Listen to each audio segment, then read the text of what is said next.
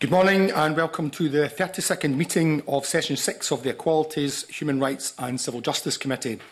Apologies have been received from Rachel Hamilton. Our first agenda item is consideration of an affirmative instrument, which is the Draft Legal Aid and Advice and Assistance Miscellaneous Amendments Scotland Regulations 2023. And a welcome to the meeting, Elena Whitham, MSP Minister for Community Safety and Officials, Kian Burke, Access to Justice in the Scottish Government, and Emma Thompson, Solicitor in the Scottish Government Legal Directorate. Good morning all, and I refer members to paper one and invite the Minister to speak on the draft uh, regulations. Um, Minister. Thank you, Convener, and good morning to yourself and to fellow members. Um, thank you for the opportunity to speak to the committee about the Legal Aid and Advice Assistance Miscellaneous Amendments Scotland Regulations 2023. This instrument has been brought forward to deliver changes to legal aid regulations, primarily to ensure continuing access to justice for people experiencing vulnerabilities in our society. Firstly, it will do so by supporting um, the response to the cost of living crisis, by enabling the Scottish Legal Aid Board to disregard for means assessment additional state benefit payments made in recognition of increased economic hardship currently suffered by households reliant on social security support. Unless this instrument is approved, the Scottish Legal Aid Board will be unable to disregard such payments across all aid types. This means, for example, that additional money to recipients of disability benefits could have these payments form part of an assessment should publicly funded legal assistance be sought. Secondly, this instrument will enable the Scottish Legal Aid Board to disregard for means assessments compensatory awards from the state arising from a person receiving contaminated NHS blood or blood products prior to September 1991. Again, these payments by the state and which recognise a wrong against a person can only be disregarded for all types of legal aid if this instrument is approved. Finally, this instrument will also extend the provision of a type of legal aid known as assistance by way of representation, ABWAR, so that it may be available to siblings to a child who is subject to a hearing, children's hearings proceedings and who have either have or are seeking rights to participate in those proceedings. Under current legislation, ABWAR provision is available only to a child subject to the proceedings or persons with or seeking to be deemed a relevant person to that child. The availability of ABWER to siblings will be non-means tested and subject to an effective participation test approved by the Scottish Legal Aid Board. This recognises that whilst the role of siblings in the children's hearing system is important, it is limited. And there are other procedural safeguards in place that can facilitate that regard, that regard be had to their views. That gives a brief overview of the regulations and their context, and I'm happy to answer any questions. Thank you. Thank you very much, Minister. Um, any questions, comments? Okay, that being the case, we move straight on to item two, which is the formal business in relation to the instrument. Um, so I invite the Minister to move the motion S6M06777. Thank you, Convener. Formally moved. Thank you. Do any members have any final comments? Okay, if not, it's not the, given there's no further comments, are we all agreed? Okay, that being the, the case, um, the motion is agreed and um, ask the committee just to delegate to myself publication of a short factual report on our deliberations on this affirmative SSI that we've considered today. How are we all agreed? We are engaged for that completes consideration of the affirmative instrument. I thank the Minister and her officials for attending. We'll suspend briefly to allow a change of witnesses. Thank you. Thank you.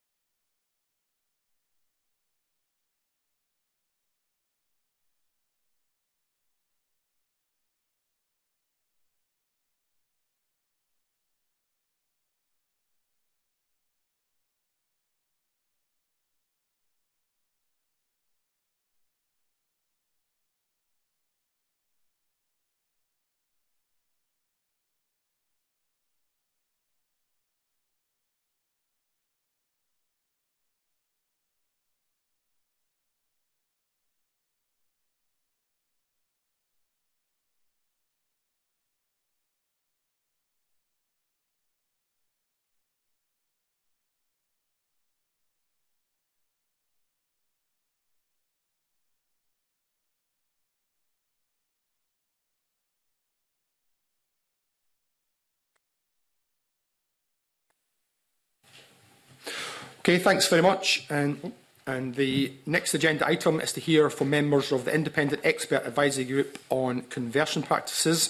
So welcome to the meeting our uh, panel of witnesses, um, Nick Bland, who's the chair, um, Dr Rebecca Crowther, Dr Paul um, Be Behrens and Richie Edwards. Um, you're all very welcome and thanks for taking the time to come and speak to us today I refer members to papers two and three and invite each of our witnesses to make short opening statements, starting with Nick Bland, please.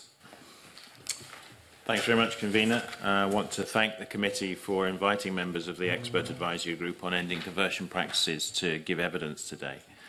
I welcome the opportunity as Chair to make some brief opening remarks, which I'll use to provide some background to the establishment of the group by the Scottish Government, to describe its purpose, to summarise the work the group undertook and which was reflected in the final published report. The Scottish Government has committed to introducing legislation by the end of 2023 that will be comprehensive in banning conversion therapy practices as far as possible within our devolved competencies. As a first step, in November last year, the Cabinet Secretary for Social Justice, Housing and Local Government, Shona Robeson, announced in Parliament the Government's intention to establish an expert advisory group on ending conversion practices to inform the approach to ending conversion practices in Scotland, which covers both sexual orientation and gender identity.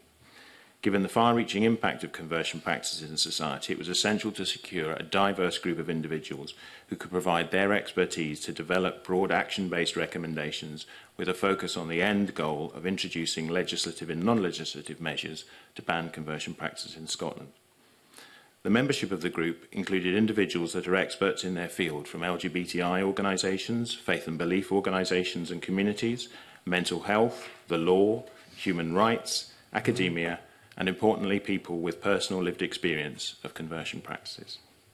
The group was time limited. The terms of reference defined the expert advisory group's purpose as to consider and advise on proposed actions to ban conversion practices in Scotland.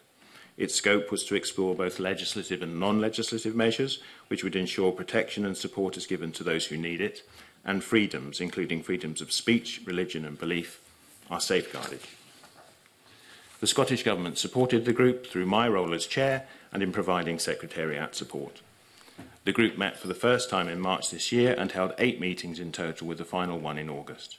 During the early meetings, the group discussed core issues such as initial thoughts on the definition of conversion practices and how to support victims and survivors. As meetings progressed, members worked collaboratively to lead discussions on human rights implications and how criminal and civil measures could work in practice. The group also heard directly from members about their lived experience of conversion practices and its impact on their lives. Additionally, it was clear that deeper insight into the specific impact and experiences of conversion practices on minority ethnic faith communities and communities of colour was necessary. This work was taken forward through a member-led subgroup which involved wider engagement with a range of organisations and a literature review. And this work was considered at a later meeting, identifying key themes and recommendations for the group overall to consider to ensure all victims of conversion practices are sufficiently protected. The expert advisory group also sought to better understand how conversion practice legislation has worked in other jurisdictions. For example, the group heard from Inclusion Melbourne, who provided very useful insight into the development of conversion practice legislation in the state of Victoria in Australia. The group's report was published on the 4th of October 2022 The report includes 32 guiding principles that offer a framework to guide the Scottish Government in its approach to developing criminal and non-criminal measures to end conversion practices. These are supported by specific recommendations which specify how the group sees the guiding principles taking shape, both within legislation and in other measures.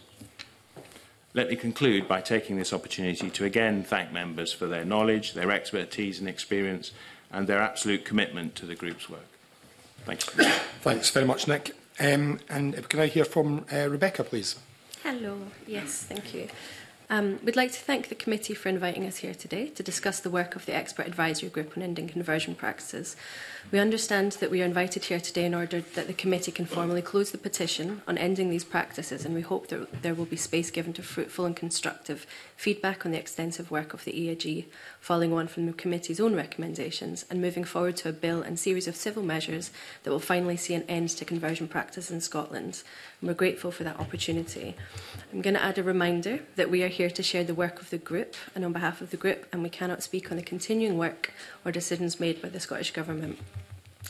Each of us here today comes to this work with differing expertise, and we, we hope each of us will be able to enlighten on the many principles within the main report from the group, as well as on the additional report looking at the experiences of conversion practices in minority ethnic faith groups and on communities of colour.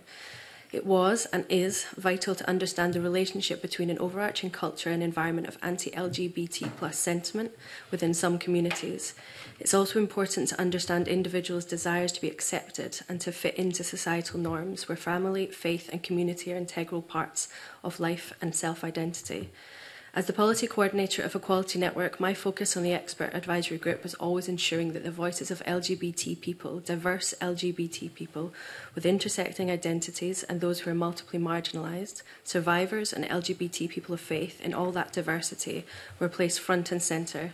And of course, also to, to challenge the pervasive and harmful anti LGBT ideologies and, in turn, conversion practice ideology that leads to these harmful practices. Tackling conversion ideology in Scotland is still sadly necessary. We need a bill that will finally and permanently tackle a still pervasive idea that to be lesbian, gay, bisexual, or trans, or having a gender expression or expression of sexual orientation that doesn't fall within the normative societal gender binary or heteronormative is a problem problem that needs to be fixed, suppressed, inhibited, or changed and to finally bring an absolute end to conversion practices that cause such mental, emotional, psychological and physical harm in Scotland. This work needs both criminal and civil measures in order to succeed. And I'll pass to Richie. So the, the voices of survivors in this work has been absolutely imperative within the work and in the principles and recommendations of the group, autonomy for survivors and potential victims was central. As a survivor myself of so-called conversion therapy, though for avoidance of any doubt, this is absolutely not what we would all know as therapy and now rightly refer to as conversion practices. I am here today in my capacity within the expert advisory group as a person with lived experience of this abhorrent practice. I am, however, only one voice out of far too many who have endured this, and I would like to put on record my thanks to not only both this committee and the Scottish Government for ensuring that survivors have had an integral role to play throughout this whole process, but also to the others with lived experience on the expert advisory group, as well as within the survivor subgroup that we established. None of this work would be possible without their collective voices. It hasn't always been easy and at times has been re-traumatising. Sadly, all too often, this is our reality, but we mustn't forget the why and what we are doing here. And I do believe that this committee and the Scottish Government get it, and our inclusion throughout has not gone unnoticed. It's just a little foreign sometimes when you're used to a certain level of pushback and broken promises. I speak from experience when I tell you that conversion practices robbed me of so much. It robbed me of love, because when you're told over and over again that who you are is inherently wrong, you cannot be surprised when when you then also have an inability to not only love yourself or love other people, but you also struggle to truly accept the love of others too. And sometimes, as I am ashamed to admit, unfortunately, this also then comes at a cost to other people's feelings. So it has a ripple effect beyond just yourself. It robs you of joy. The effects of such experiences don't just stop when the abuse stops, that permeates your whole life for the rest of your life, causing a path of poor mental health destruction that we don't have time to talk about today. You cannot underestimate the deep psychological and mental trauma associated with these practices, and I'm one of the lucky ones. I'm still here to tell my story, even if only just. And of course, when it robs you of joy, you had better believe that it also robs you of opportunity any logical path to your hopes and dreams that everyone round about you is embarking on is soon destroyed because you just don't have the capacity to breathe, let alone function. When you're in survival mode 24 7, your new normal isn't that of your peers. It holds you back. There is so much potential missing out there because of these practices. And the final thing it robs you of is your voice. And I don't just mean figuratively, though that is also true. I mean, quite literally, before you know it, you're not only speaking quietly, if you're even speaking up at all, but you're living small, constantly cautious when it when it really matters, just in case you run out, you run the risk of having to muster what little fight you may or may not have left in you, and who knows when you'll need those reserves next. And frankly, I'm done. I'm done with being voiceless. I want my voice back. I want to see my potential fully realised, like it always should have been, and to grasp opportunities with the fullness of joy, without living in fear that I'm only destined to live small. And of course, I would love nothing more than to love, firstly, myself unreservedly, and secondly, others unashamedly. And trust me, this bill, should it pass, won't just make a difference to my life or the lives of the other survivors represented throughout this whole process, but generations of LGBTQ plus people to come in Scotland. And I really hope one day soon across the UK and the rest of the world. Now, it is a fact that conversion practices result in psychological harm to the victim. Within our report, we have made it absolutely clear that alongside criminal measures and within civil measures, survival, survivor support measures are essential. These should be holistic, person centred and trauma informed. Therapeutic professionals must be specialists and, crucially, informed by those with lived experience. Support must be free and available across Scotland to anyone who needs it. Mental health services, religious bodies, services for children and young people, and other professional bodies must too be supported to provide appropriate services, with emergency support services for survivors available where necessary. Medical institutions must be trauma informed and, of course, create a safe space for survivors. They must encourage trust and provide choice for survivors by providing clear and consistent information as well as options for treatment and care. They must work with and empower survivors whilst taking into account and respecting all aspects of a person's life experience and identity. With regards to civil and legislative measures, the group recommends that any person, including victims and potential victims, are able to report conversion practices and that an investigation can then follow, removing the onus from survivors onto a public body. A wide range of options to enforce change should be available and could include targeted education, written notice from the perpetrator agreeing to cease the practice, a compulsory notice from the authority, or a voluntary written agreement agreed by all parties involved. I look forward to conversation with the committee on why this is important and on what principles and recommendations we included within our report to ensure the autonomy of survivors and potential victims. Thank you. Thanks very much, uh, Richie. And I uh, have now hear from Paul, please.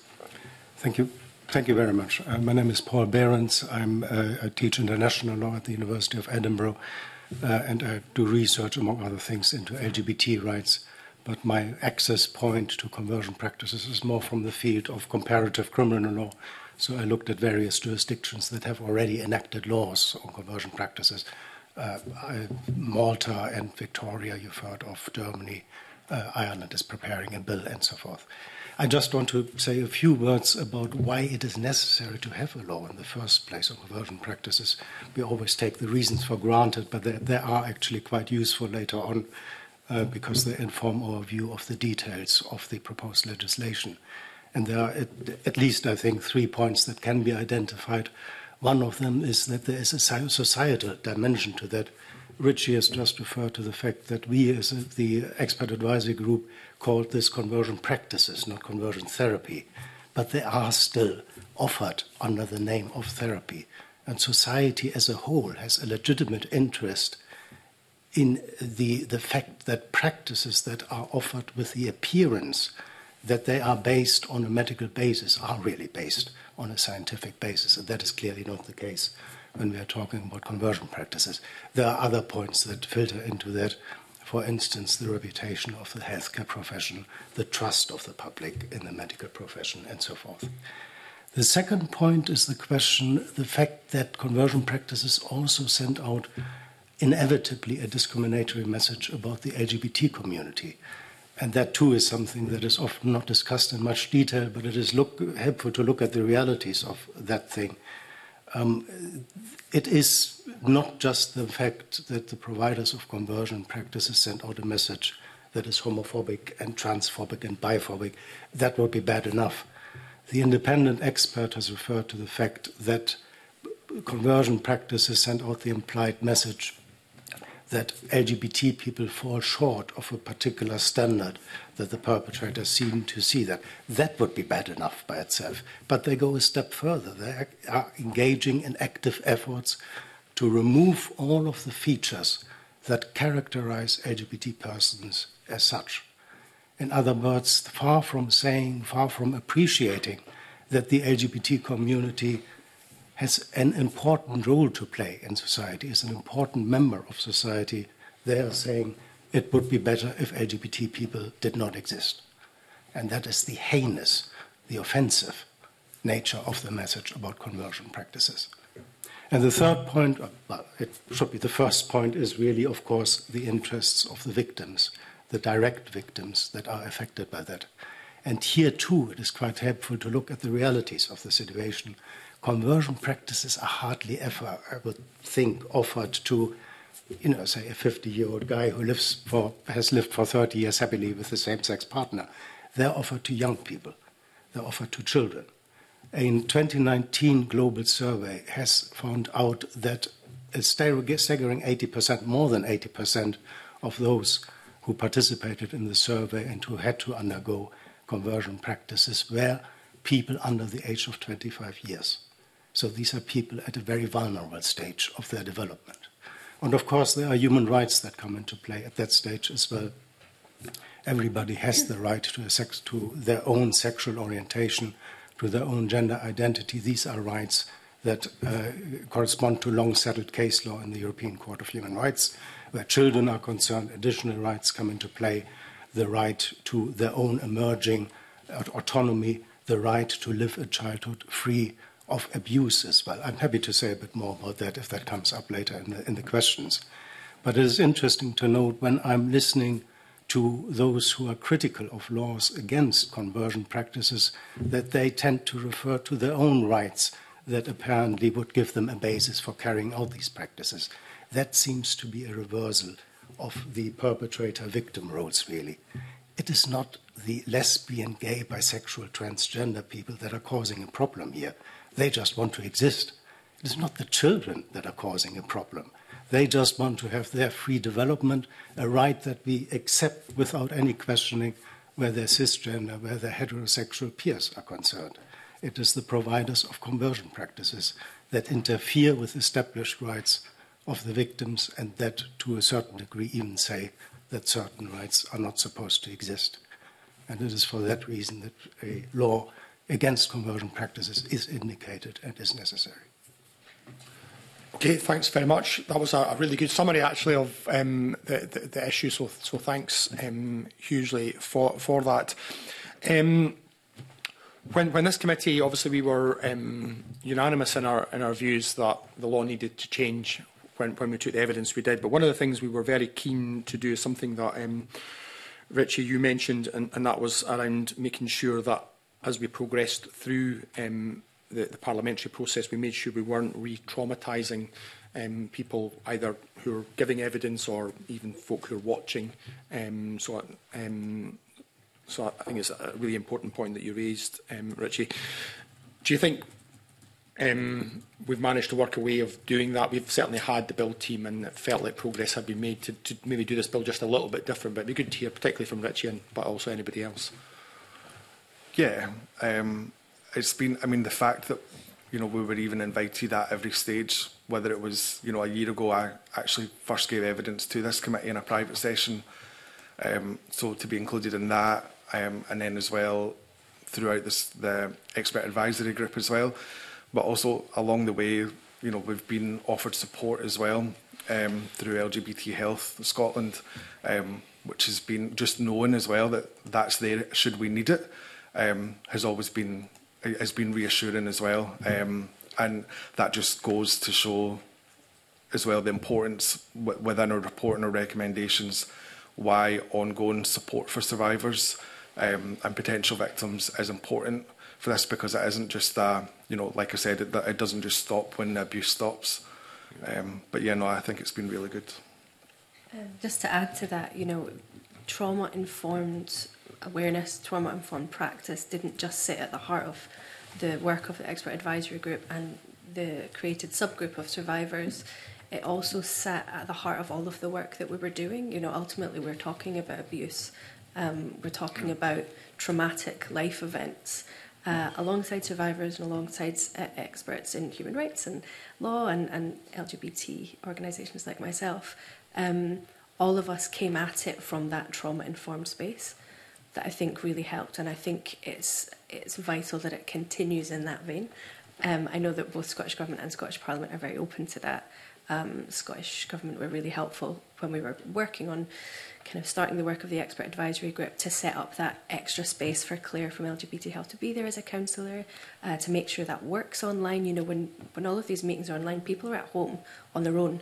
Um, so it was really important that that happened. Similarly, Claire's here today, um, and the Parliament have made allowances for that to work. Uh, we'll also do a debrief afterwards and stuff. And I think that mindset for this work moving forward is really important, particularly how it's we know it's going to be covered in the media, as everything is at the moment with LGBT rights, um, and to just be cognizant of that, that as we move forward towards the bill, it's likely that people will be further traumatised, and to minimise that if we can. Okay, thank you sorry, yeah. Quick reflection, I think. Um, so first of all, to be explicit, that, that support was available at every formal meeting of the expert advisory group from LGBT health and wellbeing. Um, I think Richie's reflection that its availability, whether it was drawn on or not, was a sort was a sort of support that it was there if needed. Uh, didn't have to be asked for. It was it was sitting and waiting, so to speak. So I think that was really important for us uh, in establishing the group.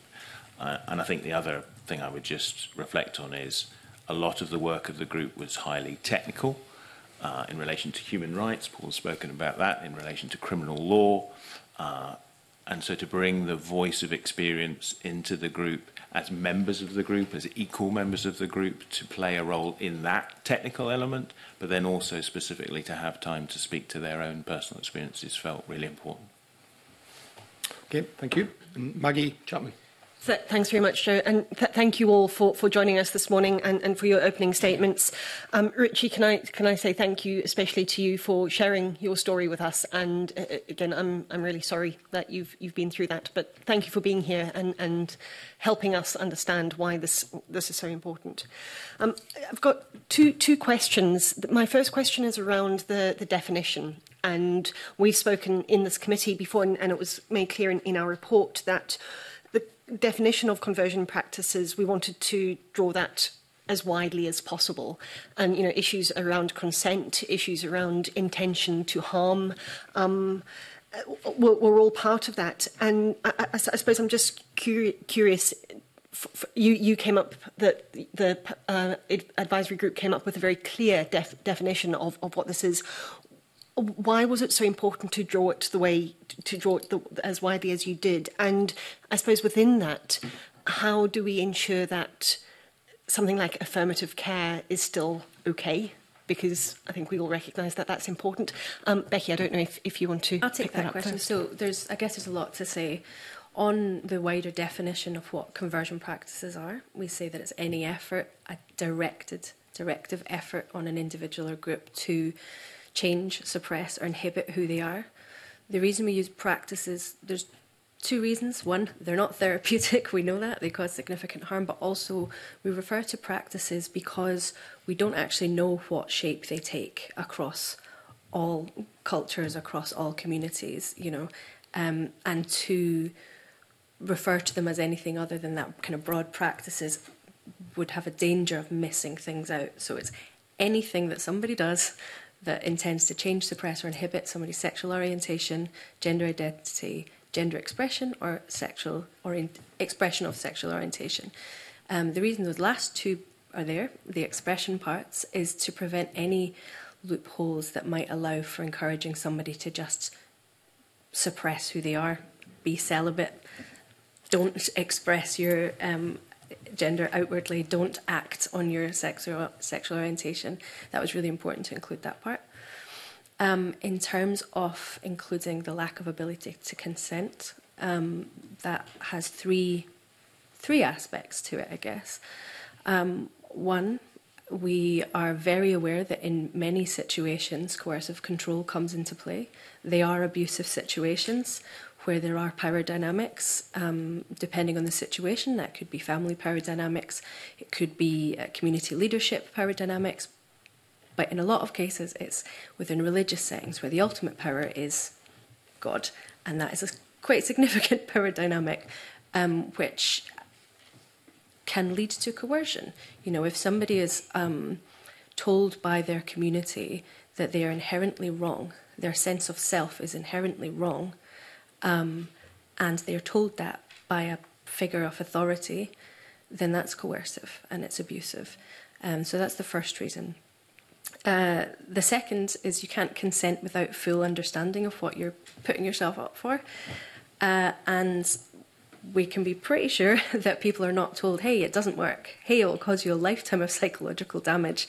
Uh, it will affect the rest of your life negatively. Um, people aren't told that, so it's not informed consent. Um, and thirdly, as Victor Madrigal Barlow says, the UN uh, expert on Soji, um, you can't consent to torture. And abuse is torture, whether that's emotional, psychological, physical, uh, any guise of conversion practices, it can amount to torture. So that's why that sits there. Uh, and the last part on affirmative care. So, affirmative care doesn't fall within the definition of conversion practices, quite simply, um, because it doesn't, it's non directive, uh, it doesn't set to seek to change somebody, it doesn't seek to uh, suppress somebody or inhibit who they are. Instead, it allows for an exploration. Um, for within healthcare, it refers to an approach that validates and supports the identity and lived experience expressed and stated by an individual. As I said, it's not directive. A healthcare professional will take an unobtrusive role, so that free expression is encouraged.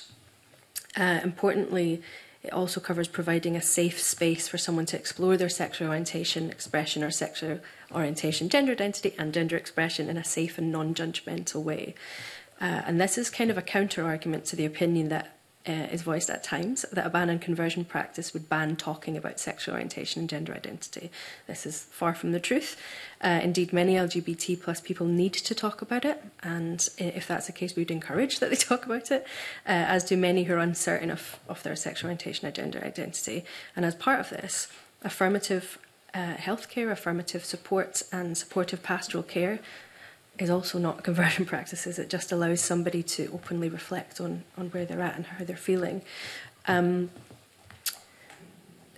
just is that it? that, that, that, that's really clear and, and really helpful, and I think really important to outline the, the, the different elements of, of both the, the the issues with that wide definition and, as you say, the importance of of enabling and supporting and encouraging affirmative affirmative care. If, if I can if I can ask Paul, you, you th thank you. You uh, I, th I thought how you laid out the, the sort of societal context of the need for, for this kind of legislation re really really clear and, and incisive, and you you started talking about the the the human rights context, and I wonder if you could just Uh, you, you, you offered, so I will ask. Um, do, you, do you want to say a little bit more about uh, about some of the specific issues that are maybe discussed and, and maybe questioned ar around potential conflicts, potential tensions, or, or indeed um, important um, provisions around particularly younger people in, in, in, a human rights context, that would be really helpful. Sure, Thanks. yes, yes, I'm happy to. Uh, can I just add a few little points to the question of consent that uh, that Becky had addressed? Because I, I, I very much under, I uh, would underline that point that the it, it, can be very difficult to establish the autonomy of the victim. Um, I found it very interesting that in this committee in November last year, uh, Pam Duncan uh, Glancy had made that point that you can have internalized stereotypes as well. You can grow up uh, with these stereotypes that are actually directed against you. And uh, the reality is that conversion practices are very often carried out by communities in which the victims have been grown up all their lives. So that is one of the difficulties. The other one is that we're coming back to one of the points that I tried to outline in the opening statement that the discriminatory message against the LGBT community, against LGBT people in general, has not gone away, even by somebody who has given uh, consent, even in a situation like that. On the question of human rights, so I think I've outlined some of the human rights already that exist on the side of the victims. and of course, uh, Becky has added to that freedom from torture in uh, in cases where that applies is of course a, an important right as well. Um, the the state might have a duty also to intervene when there is a danger that a person subjected to conversion practices uh, might commit suicide. So the right to life has a positive aspect to that duty as well.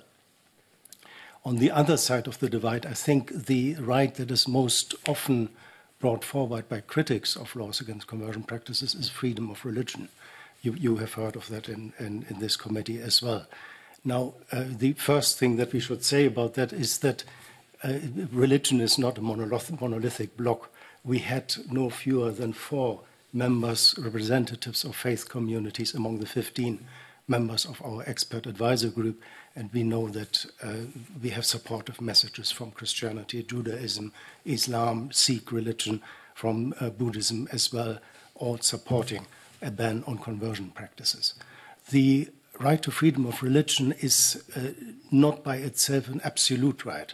It, uh, there are two dimensions to that. One of them is the internal dimension, as uh, established by the European Court of Human Rights. In other words, you can believe whatever you want to believe. Uh, that is not something that the law can interfere with. It, I, I, would say it is a problem by itself. When, when we are talking about homophobic and transphobic belief, there's a lot that can grow from that, but that is outside the reach of the law. But it is different when we are talking about the manifestation of the belief.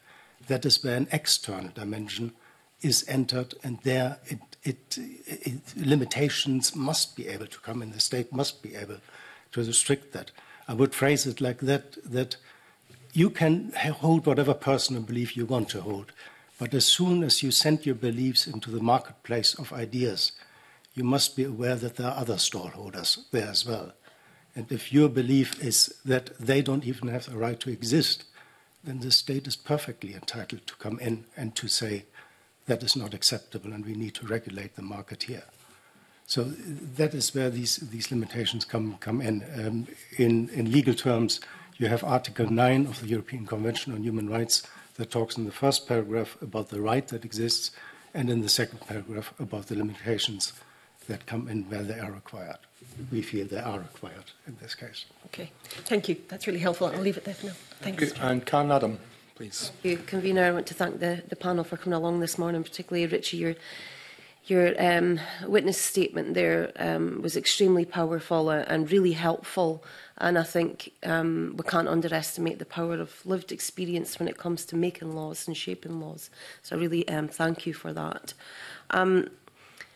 when we're determining how this can fit in regards to criminal law in Scotland, um, that was something that you had recommended and spoke about. How do you see that working in practice when it comes to perhaps um, parents of children, medical professionals uh, and faith leaders.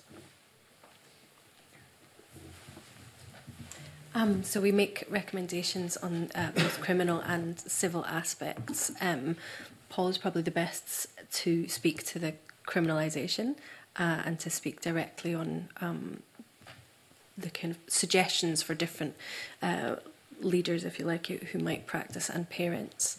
Um, I think an important thing to say is first and foremost, the autonomy of the victim comes into play. So when somebody reports uh, convert, our idea is that if somebody comport, reports a conversion practices, that they will be taken seriously, that they will be supported, that they will helped to do that report. But that doesn't necessarily mean that the perpetrator will be criminalized or that indeed they have carried out anything criminal. Um, but that autonomy should come first and foremost. Um, there are suggestions and recommendations in the report for what we would like to see in legislation um, of how people will um, be penalised for practicing conversion. And that's different across the board, whether you're a faith leader or um, a parent or uh, um, whatever that might be. Um, Paul's definitely best placed as the lawyer to talk exactly on that. Well, the, we followed in large regards um, some of the laws that already exist in jurisdictions around the world. So these points that we outlined in our recommendations on offering, on uh, carrying out conversion practices, um, referring a person to conversion practices to somebody who carries them out, also the removal of a person from Scotland to another jurisdiction, all of these you can find in various uh, jurisdictions around the world Malta, uh, Victoria, Germany. Ireland and the, the bill as well. I can give you further references if, if, if you're interested in that. Um, so that's, that, that, that by itself is, is uh, nothing new, um, apart from, from perhaps certain aspects like the, the question of an aggravated crime, where uh, children, for instance, are concerned as victims of the crime. But there too, we have a precedent in Scotland. We have the uh, Domestic Abuse Act, that um, independently from us, incidentally, came to the same solution that children should be considered in, in a particularly uh, protected position there. You mentioned the question of parents' rights, and I think it, it might be useful to say a word or two about that as well. Uh, Rebecca was quite right. The, it, it is the autonomy of the victims that is really, it is like a golden thread that goes through our report, and we listen to the, the victims very carefully and to their, uh, to their concerns there and uh, it, it, it is true, and we acknowledge that that uh, there are very many different ways of in which conversion practices can be carried out. There may be situations in which parents are not even aware that what they are doing amounts to conversion practices and are not aware of the consequences for the children. That is why education is so, such a very important part in our recommendations. And uh, we also listen to the victims where the question of uh, criminal prosecution is concerned. I would phrase it a bit differently from, from Becky. I would not say that, that it's not criminalization, that conversion practices are not criminal in some situations, but that criminalization does not necessarily mean criminal prosecution. That is why we offer a whole range of options below that level uh, that are particularly helpful when victims are still in a relationship with the perpetrators and want to continue that relationship with the persons that have carried out conversion practices. So, for instance, targeted education can be given to the providers of conversion practices. A kind of uh, arbitration procedure can come in uh, with the help of the commission that we are suggesting. A, a, uh, written undertaking can be taken from the provider of conversion practices that uh, they would no longer engage in these practices. Having said that, we have also heard from survivors who were subjected over years and years to what can only be described as psychological terror by their parents, by people who were supposed to take the best interests of their children at heart and instead put the particular belief system above the free development of the children. And in those situations, I think it cannot be right for the state to say, stay, stay aside and to say, this is still a situation where we are dealing with parents that are fit for, for the job of bringing up the children in that particular way. Just to um, add to that, I mean, one very clear thing is if a child is being abused, we would hope people would want to step in, and in, in many cases, conversion practices does amount to that. Um, but I also wanted to add the importance of offering those options for um, for people who are within communities. We don't want to put them at risk by automatically it being criminal prosecution. This is why it's so important that it comes from the autonomy of the victim because we heard a lot from from uh, survivors, both at the expert advisory group and in, in the lead up to that in other work, that quite often their parents or their or their church members or their family members or whatever meant no harm. Um, and they meant to do what they saw as good and to do the right thing and to protect people. Um, but that doesn't mean it's not wrong and that doesn't mean it's not harmful. So that's one reason why these options are really important to keep communities together, to keep people able to stay within their, their communities and help to help people through that. But it's also important in terms of um, minority ethnic and marginalised communities um, where there has been historic criminalisation of, of communities and we heard very clearly that that is not what people need. Um, they need conversations, they need awareness raising, they need supports, and they need to not be put at risk of complete isolation from their religious or faith community based on reporting. And that is so important that victims and survivors are not put at further risk um, by not providing those options that are non criminal. Um, I touched on the idea of the intent to cause harm there, but I might, if, if that's of interest, I'll pass it back to, to No, that, that's, that's really helpful. Thank you. I was just, I wanted to add on to this question really. Um, you spoke, Dr. Crowther, earlier about you know how we're, we're still very much in a in a society where cisgendered heteronormative is the default, seen as the default setting for a human being, and it, and it's quite hard um, to, to break through that narrative for people. Um, and, and Richie, you, you spoke about that ripple effects um, throughout society. It doesn't just harm the individual, it harms whole society. If this was to come into practice as a criminal offence, would this be um, helpful in regards to changing those kinds of mindsets in society and have good, positive ripple effects. Do you want to take that? Or I can. Yeah, yeah. Um, absolutely. of course, well, as uh, you know, if, if we have in legislation that it is wrong to do those things, and that being LGBTI plus is a perfectly healthy, beautiful, diverse way to be and is celebrated, and to try to squash that is wrong. and illegal, of course that would have a positive effect. In the same way as bringing in inclusive education, in the same way as um, bringing an equal marriage, it's a clear message of acceptance and understanding of the diversity of humanity. You know, um, in no circumstances should somebody be um, suppressed or inhibited or forced to change who they are um, when it's an inherent part of them. So I think for all LGBT plus people, seeing that, seeing the Scottish Government and Parliament making a commitment to that, and not only that, but seeking to get it right for every person, meaning work within communities, work within diverse communities, marginalised communities, communities of colour, faith communities, seeing that effort to not only do it, but to do it right and ensure that everybody is actually helped by that legislation rather than potentially harmed is it's extremely powerful. Yeah, can I just add as well? I think this is why it's so important that we, we do have, you know, we're, we're not just here, we don't just want to criminalise this. Like, that's why we have all the recommendations for the civil measures as well, because ultimately, you know, as a person with lived experience of this, you know, I'm not, I'm not just interested in seeing people criminalised for this. I want it to end. And the only way that's going to happen is if we all work together.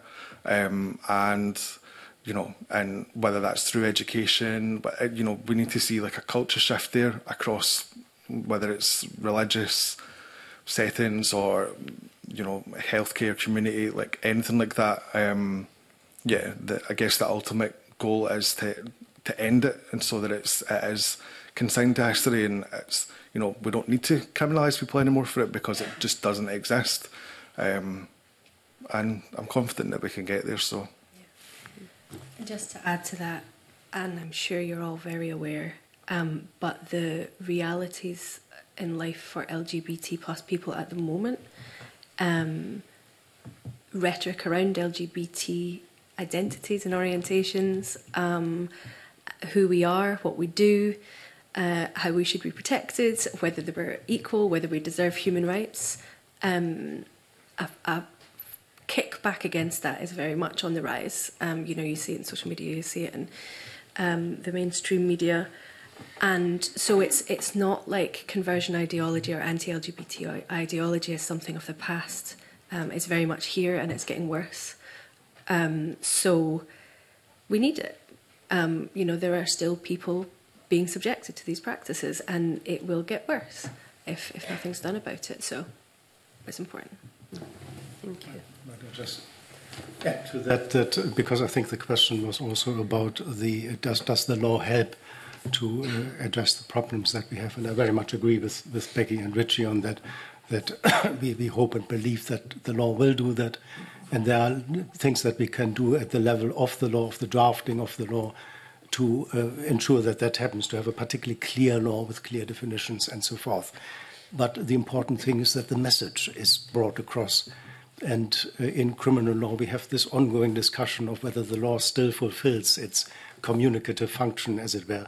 That is why we are including the recommendations in Recommendation 12, also an awareness raising recommendation, the recommendation to raise, raise awareness of the law, to give publicity to the law, and ultimately points of wider education come and filter into this point as well.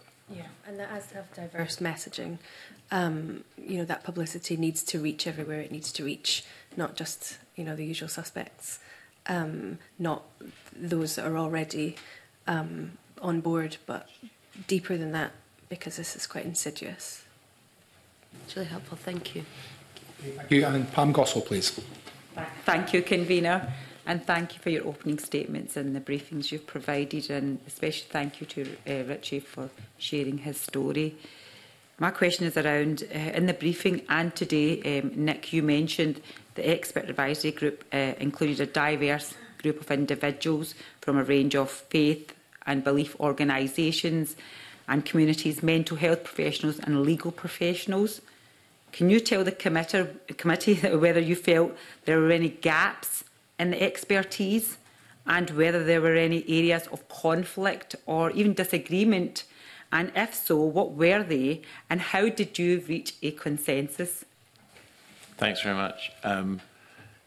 I think the makeup of the group, the, the size of the group reflects the importance that the government placed on ensuring that diversity of perspective and ensuring that those range of expertises that you've just described and I, I set out in the opening statement was present. So I think the short answer is yes, I think we did have the, the necessary expertise. I think um, in addition, the additional work with um, Irish ethnic faith communities and communities of colour that, that was taken forward. Becky was one of the, one of the members who took that forward uh, with um, uh, Prip Albula, another one of the members. That was, a, that was an extension to the work, very much a reflection within the work of the group, a, a um, an identification of the need for that work. So that was an extension, in a sense, within the, the, the um, terms of reference to the group to do that work and to bring it back in. So the whole group was able to hear the results of that um, towards the latter stages of the, of, of the expert advisory group. In terms of um, differences, not really, um, I would say. Um, I, as chair, was very certainly very keen that we were able, I hoped, to reflect a consensus in the final report, but that if there wasn't a consensus, then we would want to reflect where there was some disagreement. So the fact that the report doesn't reflect that is a, is a demonstration of the, excuse me, of, the, of the clear sense of the collective view of the, of the expert advisory group. Can I answer that? All right. Um, so quite quickly uh, into the, the process, I think very soon after being invited to be part of the expert advisory group, we decided that it, we wanted to have a few more voices heard. So we actually set up two subgroups. Uh, one was a survivor subgroup, which Richie led on, uh, which allowed, I think we have 14 survivors on that group, uh, some of whom had given oral evidence before, some of whom had heard of the work now that it was a bit more out there in public, some uh, had started to feel a little like they needed some support because it was in the media and things were happening, and that's, that can be re traumatizing. So, that group was set up to not only hear a wider diversity of voices. Um, and what practices they experienced and where and, and uh, kind of feed into the group in that way also provided a space of support for for those people. Um, we also pushed for the creation of the additional subgroup um, to the expert advisory group to specifically look at this, the experiences of LGBT people of, from minority ethnic faith groups and communities of colour. Um, I and Pritpal um, from Sarbat Sikhs took a lead in establishing this and in facilitating stakeholder, stakeholder engagement here.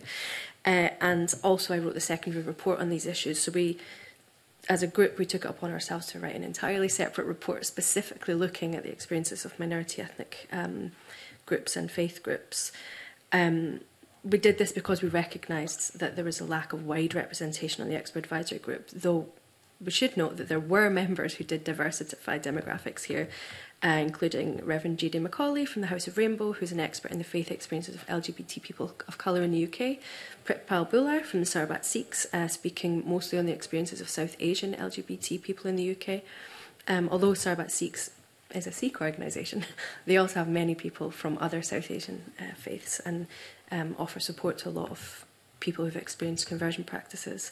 Um, we're also aware that the initial oral evidence session that you had um, there was evidence given from a Muslim LGBT person and their experiences.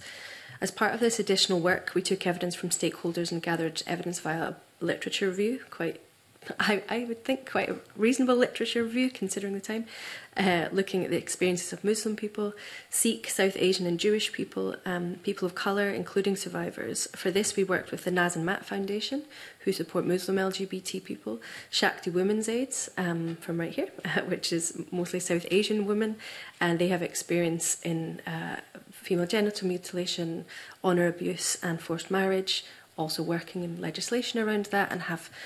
Um, a very strong understanding of how these kind of practices can happen. Um, Keshet, which is a, a Jewish LGBT persons organisation. Um, sorry about Sikhs, as I've said, and uh, Circular 3, which is an organisation from down south who's specifically trying to represent the voices of black um, and people of colour living in the UK experiencing conversion.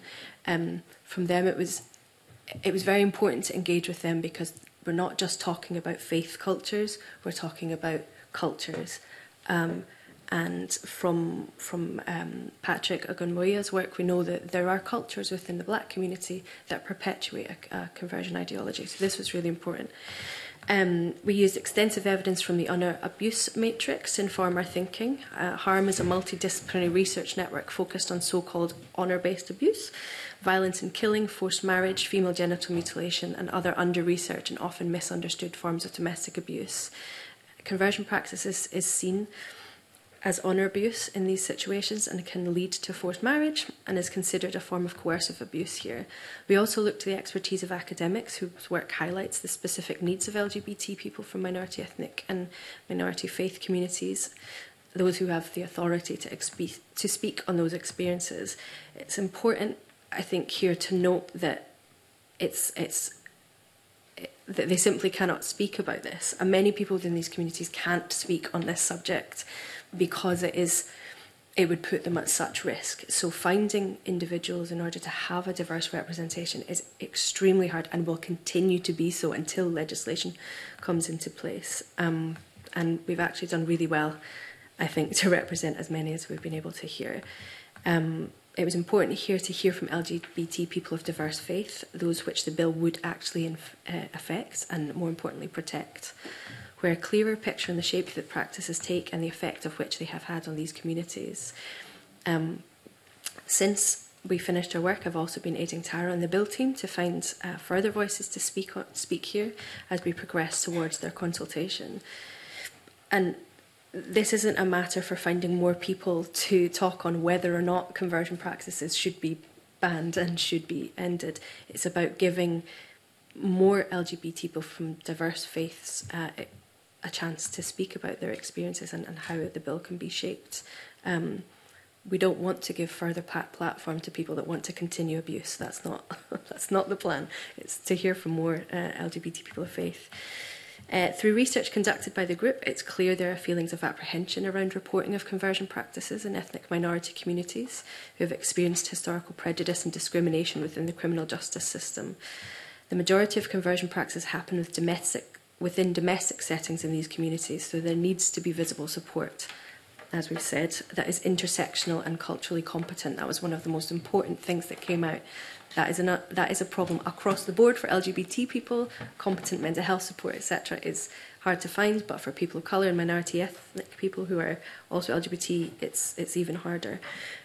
Um, these services need to understand the structures and governance in diverse faith institutions and the significance and potential danger of the abuse of honour and shame within these communities. It's well established that this is a human rights issue, as Paul has said, for all, uh, all LGBT people, and freedom of religion uh, expression is not challenged in ending them. Thank you, Dr. Rebecca. Uh, just going back to what you just said there, you said sometimes it's difficult conversations with obviously certain religious groups. Um, we heard concerns um, throughout the previous uh, evidence session that the ban would restrict religious freedoms. I want to just tap on a little bit on that. Uh, and you've mentioned many organisations. I've heard you. They're all organisations which are absolutely very worthy and they do a great job. But I didn't hear any faith, actual organisations from any of the Jewish, um, any of the uh, Muslim or Sikh or Christian um, organisations. How, how was that for you to reach out to them? And what I'm trying to, I think, get at here is – what Richie said earlier on, it's not about punishing people here. We need to educate people and these faith groups, and I know coming from obviously a Sikh background, that um, there is much education needed that so that people can start accepting that this is normality and these people are around and we all live together that's the way it should be so it's just educating them a little bit more as well so you need to reach into them to educate them so have they allowed your voice to be heard in their faith groups? So I think there's a few things there. Um, firstly, in terms of working within communities to raise awareness and to educate and to support, that happens after the bill. Um, and after hopefully that those measures are kind of factored into the writing of the bill. So that's that's one thing, and we really hope that that does happen in terms of um, faith communities being heard, of course, this went to consultation as a petition, so that was open to anybody to respond, and there was a significant number from faith communities that responded. Uh, and of course, there will be another consultation uh, on on the content of the bill. Um, it's not for me to comment on, though. In terms of representation on the expert advisory group and making sure that those voices were heard, our number one priority is LGBT people of faith. Um, if if they're not LGBT people, this bill doesn't affect them. um, in terms of uh, religious freedom, as Paul has said, uh, religious freedom and freedom of expression are not absolute rights. If they harm others, then then that's where there's a there's a crossover. Um, religious people, regardless of what faith they're from, whether they're Muslim, Sikh, Hindu, are still free to believe whatever they would like to believe. They're free to talk about whatever they would like to talk about, but they should not be free to directively subject others to practices that intend to change who they are. So, I guess a simple way to answer that question is everybody's open to and able to respond to the consultation, and we hope that people do and have their voices heard. In terms of the work of the expert advisory group, our primary aim was gathering the understanding and experiences of those who support LGBT people and those who these practices could harm. Uh, and I think that that will remain the case moving forward. Thank you, Dr. Rebecca. I really look forward to when this bill goes through that that education piece goes out because there's no use listening to people's lived experiences and basically um, uh, uh, punishing those that have did wrong if we cannot educate. So that's very important, and that's an area. I know you've mentioned it, um, but it is very important. Yeah, from from mostly speaking to Shakti Women's Aid of the Naz and Mat Foundation, it, it's absolutely vital that these civil measures come in. Otherwise, it's just not going to work. like, and we've said that from the very beginning. If you only legislate and you only criminalise and don't do any of that other work, you may as well not um, because it will just put certain people in certain communities at further risk because the, the, the base level work hasn't been done. So I agree. Yeah, and can I just add with that, we can't forget as well that you know victims of these practices, in many cases, still have a faith or they're still grappling with it and stuff. So it's also you know, you know, certainly from my point of view, it's not a them versus us sort of thing. You know, it's it's about educating and and and and working together sort of thing. So, yeah, it's in everybody's best interest for that to to, to coincide. Yeah, I mean, mm. most of the people in the expert advisory group and on the survivor groups who have experienced conversion practices are still of faith, um, and and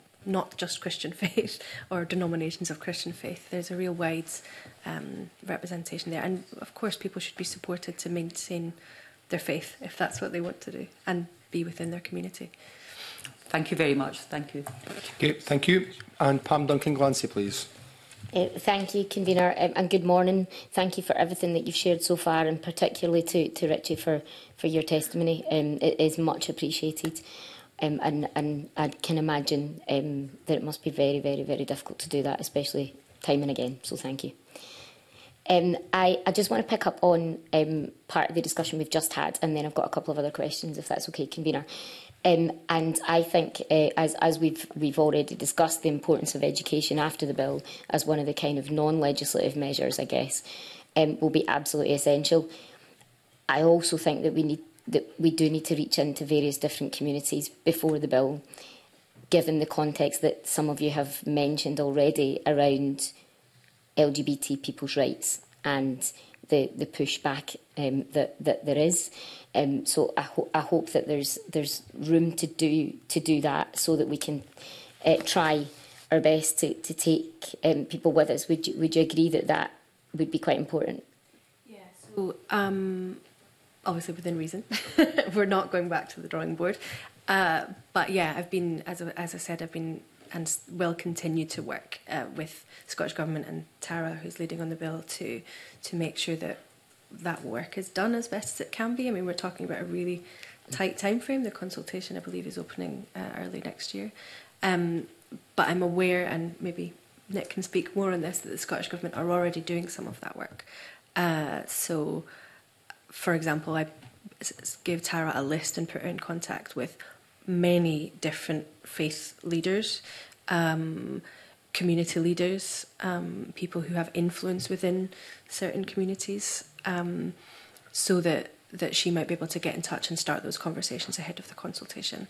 Um, probably shouldn't name them here, but we're talking about um, people that are very considered highly uh, within the Muslim community, within the Sikh community, within uh, the Christian denominations. Um, across the board uh, on religions. I think that is where there's big concern.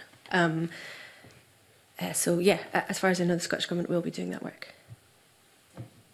Did you want to add? Yeah, I mean, I don't want to stray too far from. I'm here as the chair of the um, the expert advisory group, but yeah, I mean, we're we're still um, you know up to 12 months from from the introduction of of any bill, and over that period, a, I planned formal public consultation there's engagement as as um, uh, as Rebecca has mentioned, there's already engagement between the policy and bill teams with a whole range of organisations as part of that policy development process.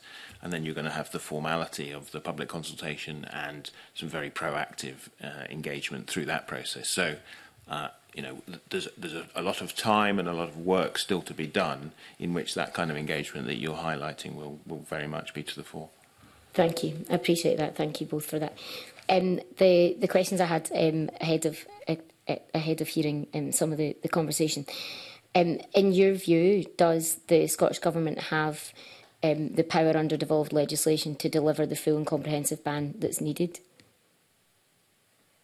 Yes. yep. I so. I think the, uh, it partly because it, it falls within health measures, but also uh, I think the Scottish Government itself has made clear that when it came to gender recognition, that that, for instance, would be a matter that would fall squarely within its competences. And I think yeah, other thing I would, would say, um, and I think um, one of the other members mentioned this, that there is other um, examples to be drawn from existing legislation around domestic abuse, around forced marriage, and so on.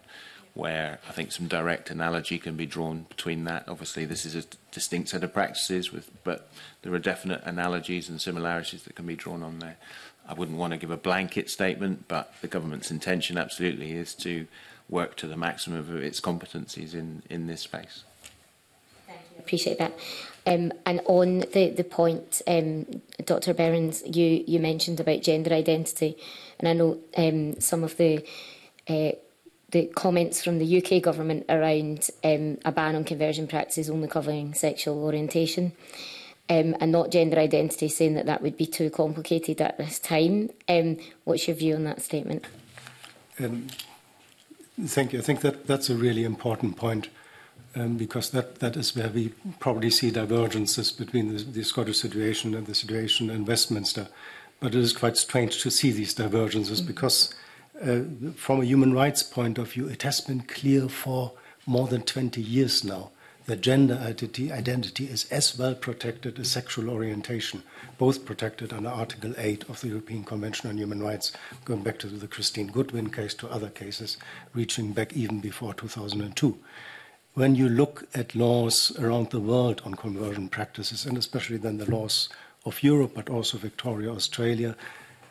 it, that is, does not even seem to be a matter that comes up, making that distinction between sexual orientation and gender identity. Of course, gender identity is embraced by those laws as well.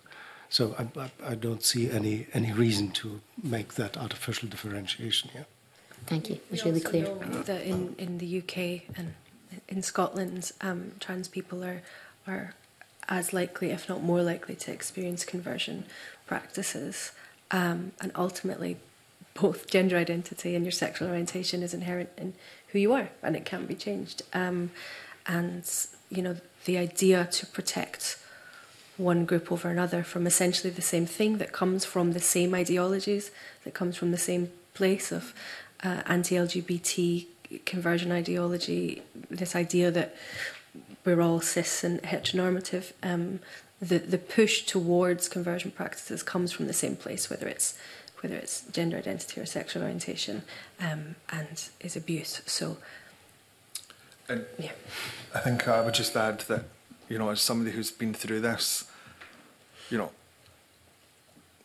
why, like, I shouldn't be any more protected than a trans person should be. You know, the, the experience and the, you know, the lifelong psychological damage and trauma is damaging for everybody. So like it wouldn't sit comfortably for me as a cis white gay man that it would that I would be more protected than than a trans person who is more likely to experience it as well. Um, so yeah, like I'm not worth any more than any any of these other people who experience it. Thank you. That's an important point to be made. To Becky touched upon that on the question of vulnerability of uh, especially of trans children. And we have um, heard evidence. We have uh, we are aware of cases where trans children uh, uh, suffered greatly under being misunderstood, under being misgendered as well by their parents.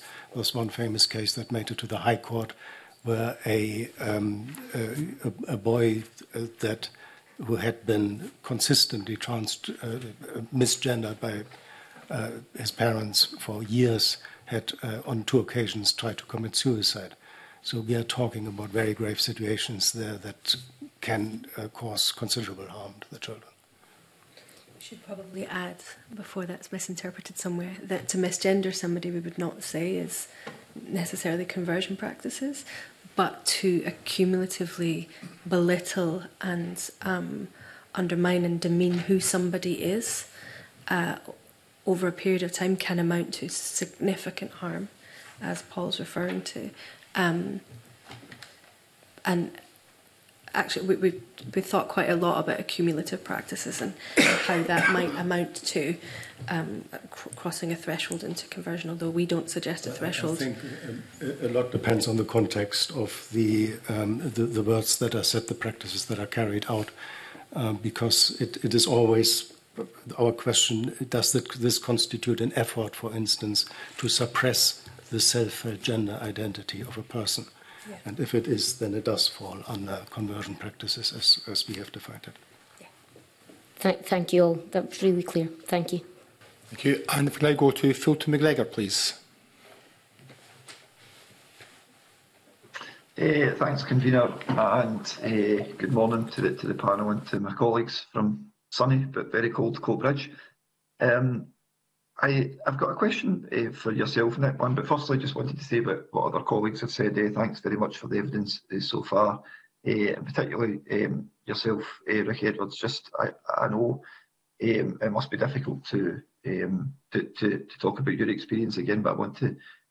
put on record my thanks for you doing that because you continue to do it in, in the hope that it, it will, it, it will help others. So So put on record my thanks again there, as, as other colleagues have done.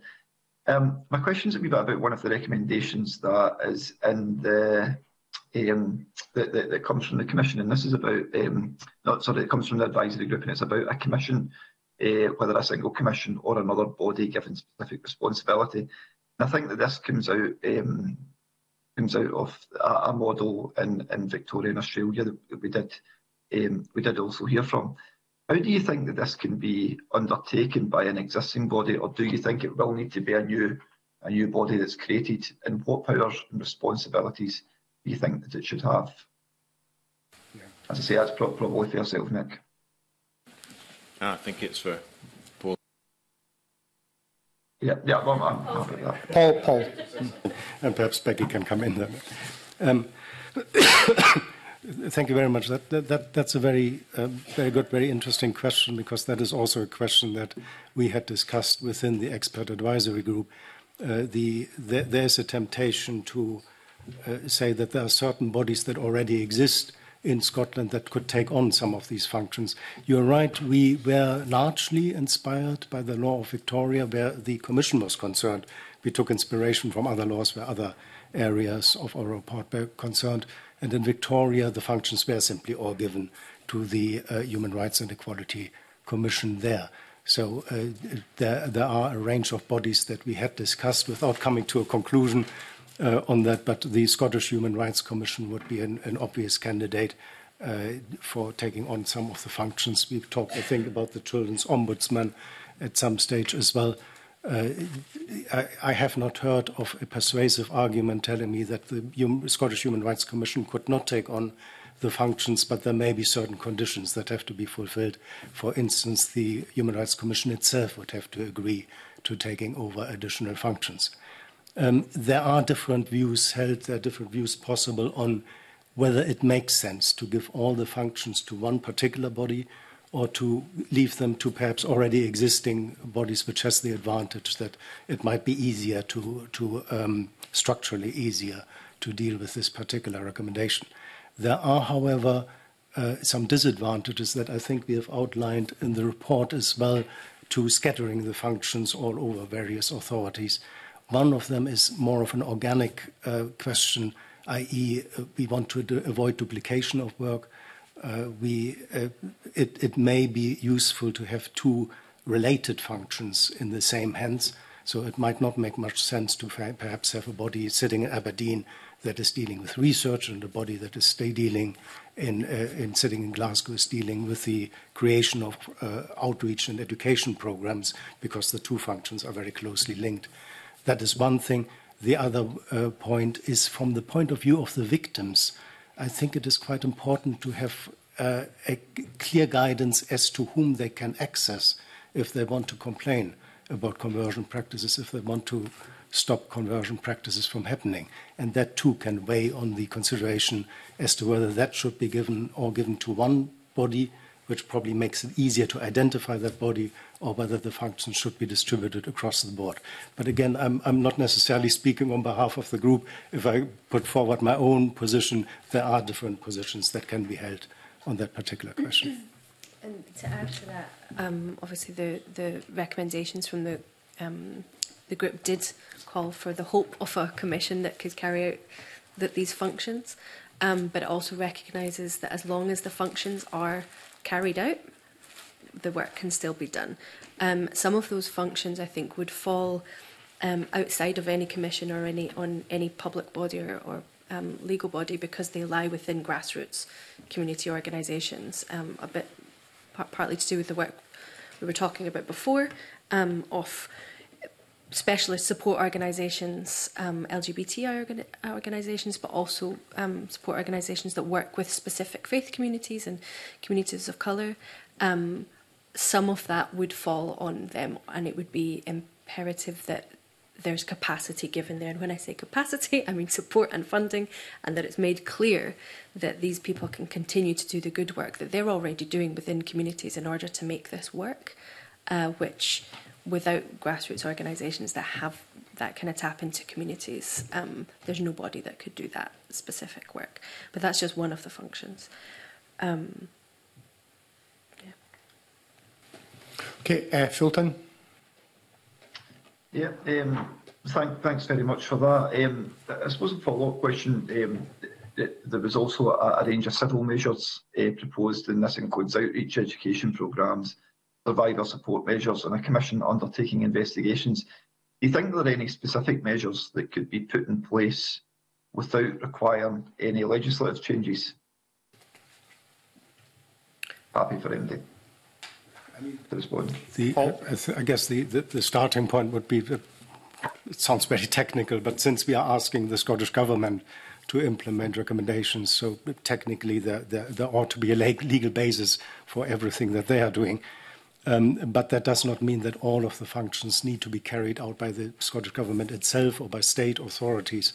So uh, I can perhaps refer to, to two examples in that field. One would be the academic project that we had also recommended, which, uh, whose purpose it would be to evaluate existing laws against conversion practices in other countries, also to engage with uh, stakeholders in the various countries and with legislators, and uh, which may be able to fulfill functions that the Scottish government might find more difficult to fulfill for instance, being critical about the laws abroad and saying what does not work very well, what are the weaknesses of particular reports. So that would be uh, uh, would be an academic-led project rather than something carried out by state authorities.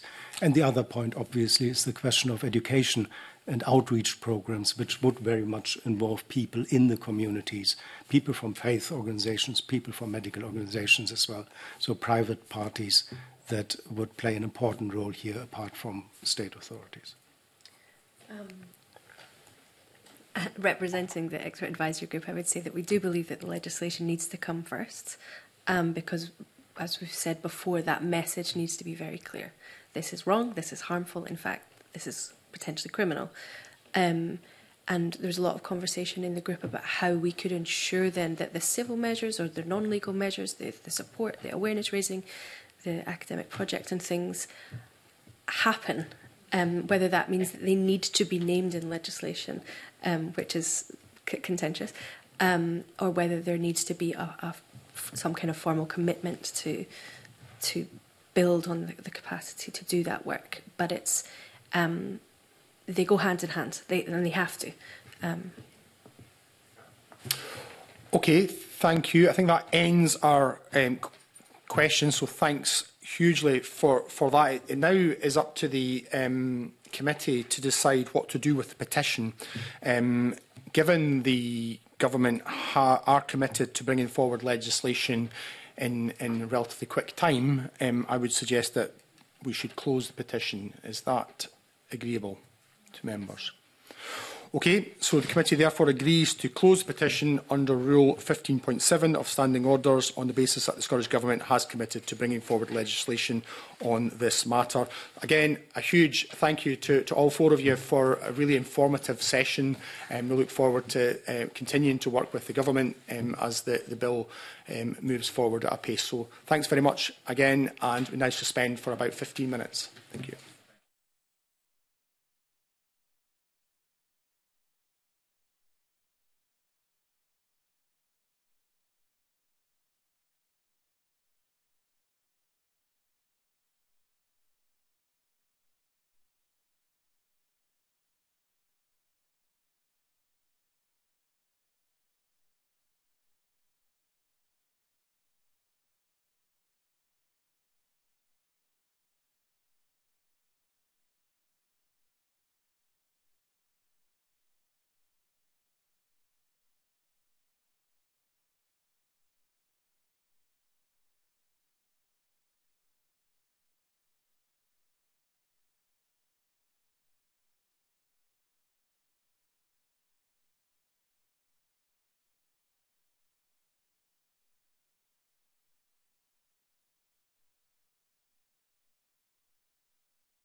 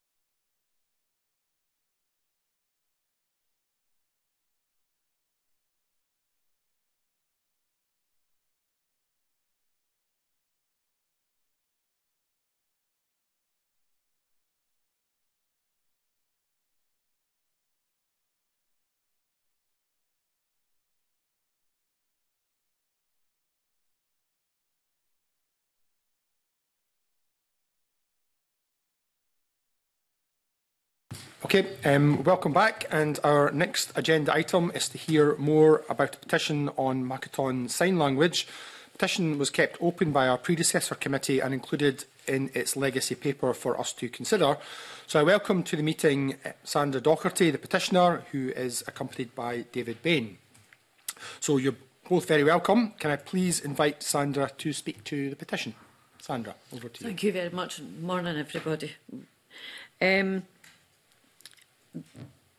I'll just start with what we've got written down on paper. Eh, please excuse my nervousness. Um, right. Macaton started over 40 years ago and it was created by Margaret Walker. She's now MBE. Um, she's a, a trained speech therapist and she founded this Macaton sign-in back in 1970s. Little did Margaret know and think that it would become such a widely known well known all over the UK by children and adults with severe communication and learning disabilities at home, at schools, at colleges, and within the community and at work. No one thought it would, could or would be used in 40 countries, from Kuwait to Japan, from France to India. How did Margaret come up with this idea of Makaton? In 1968, Margaret was working in a large hospital south of England, Botley Park. It wasn't a hospital for people who were medically sick. It was for children who, and adults who were severely dis disabled. Though there were 1,100 adults and children within there, they were all classified as patients. It was a huge institution for children and learning with disabilities, ex ex expectations on these patients was low. They didn't expect them to be able to communicate and they didn't think they had anything beneficial coming out of them. So no education and social interaction activities were on a very low level. The staff only communicated, communicated with patients with speech, so many patients couldn't even express how their thoughts, their feelings, which led to frustration. This was brought to Margaret's attention one day when working with one of our boys, she, he turned round and he bit her on the arm through frustration. She, from that, she decided that she wanted to lead it forward and start doing an assessment on all the people within Bosley Park. That was 1,100 people. To get a better understanding on the communication problems, and this had never been done before. Margaret discovered that 60% had severe communication problems, 50% had little or no speech. Some had additional problems, hearing impairments, visual impairments, physical disability or autism. As a speech therapist student, Margaret could sign British Sign Language. Margaret had worked with profoundly deaf children, so she knew the iconic and the importance. Oh, I can mind if I get drink warm. Yep, take your time.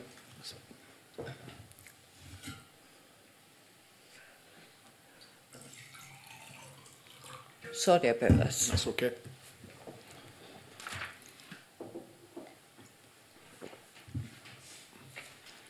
The profoundly deaf children. So she knew the, and the importance of many basic signs that were for everyday life experiences. Margaret wondered if adding signs from BSL using just the keywords in speech might help a patient understand.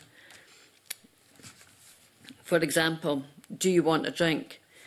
and, si and signing you and drink being you drink. Maghreb went on to create a vocabulary of signs that would reflect on patients' everyday lives. Margaret spent six months talking to staff, talking to patients, and patients attempting to respond. Margaret ended up with thousands of pages of results, which gave her around 350 consonants, ranging from simple ones, you, me, eat, sleep, good, bad, to more difficult ones, to think, to understand, to ask why and because. Linguists confirmed that there is a pattern in every spoken language and it is a smaller range of vocabulary of essential consonants called a threshold or a core vocabulary, which was put in the Oxford Dictionary. In 1976, Margaret held the first ever Makaton workshop for 40 people.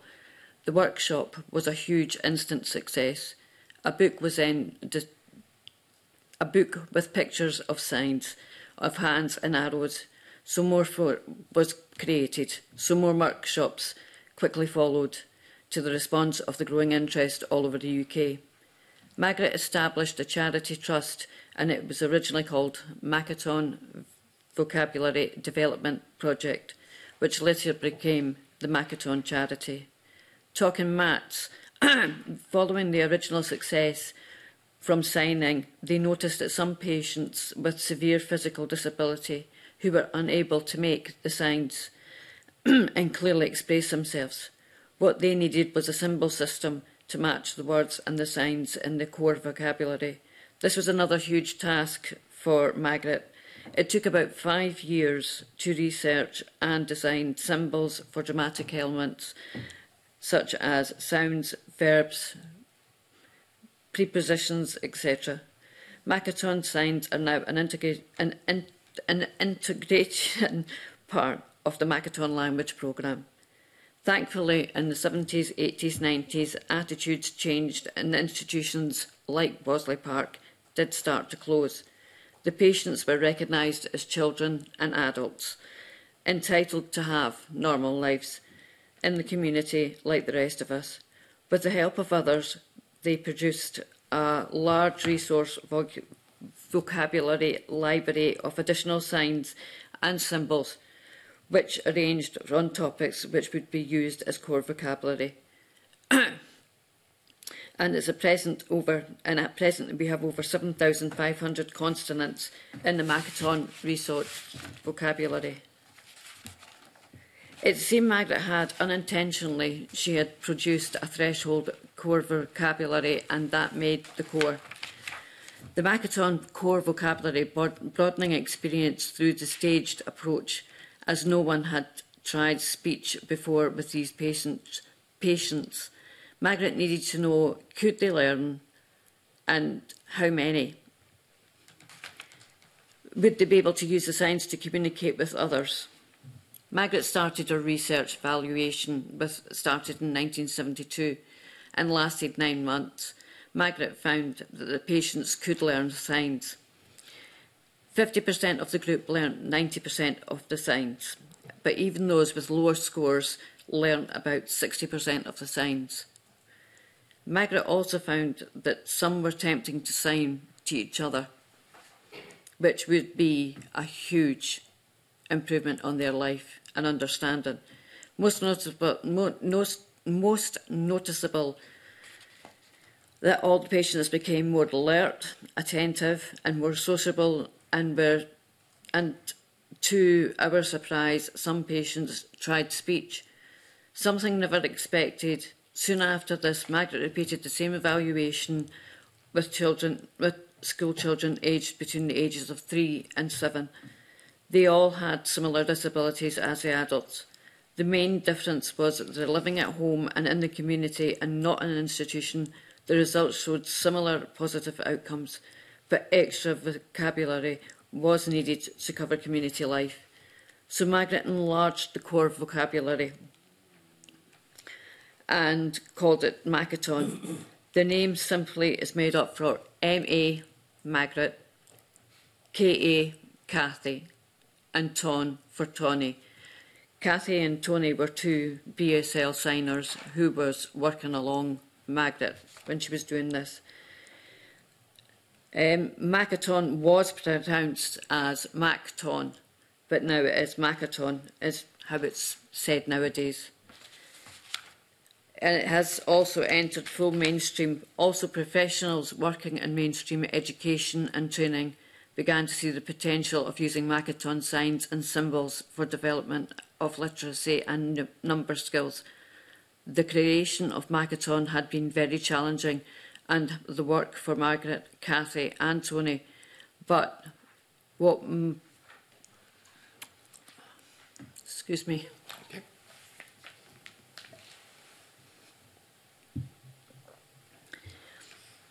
but what must have been an incredible experience and so rewarding to see how it can change the lives of users and their families, carers, professionals, personally for myself, as my sister signs Macaton, and she is she amazes me every day.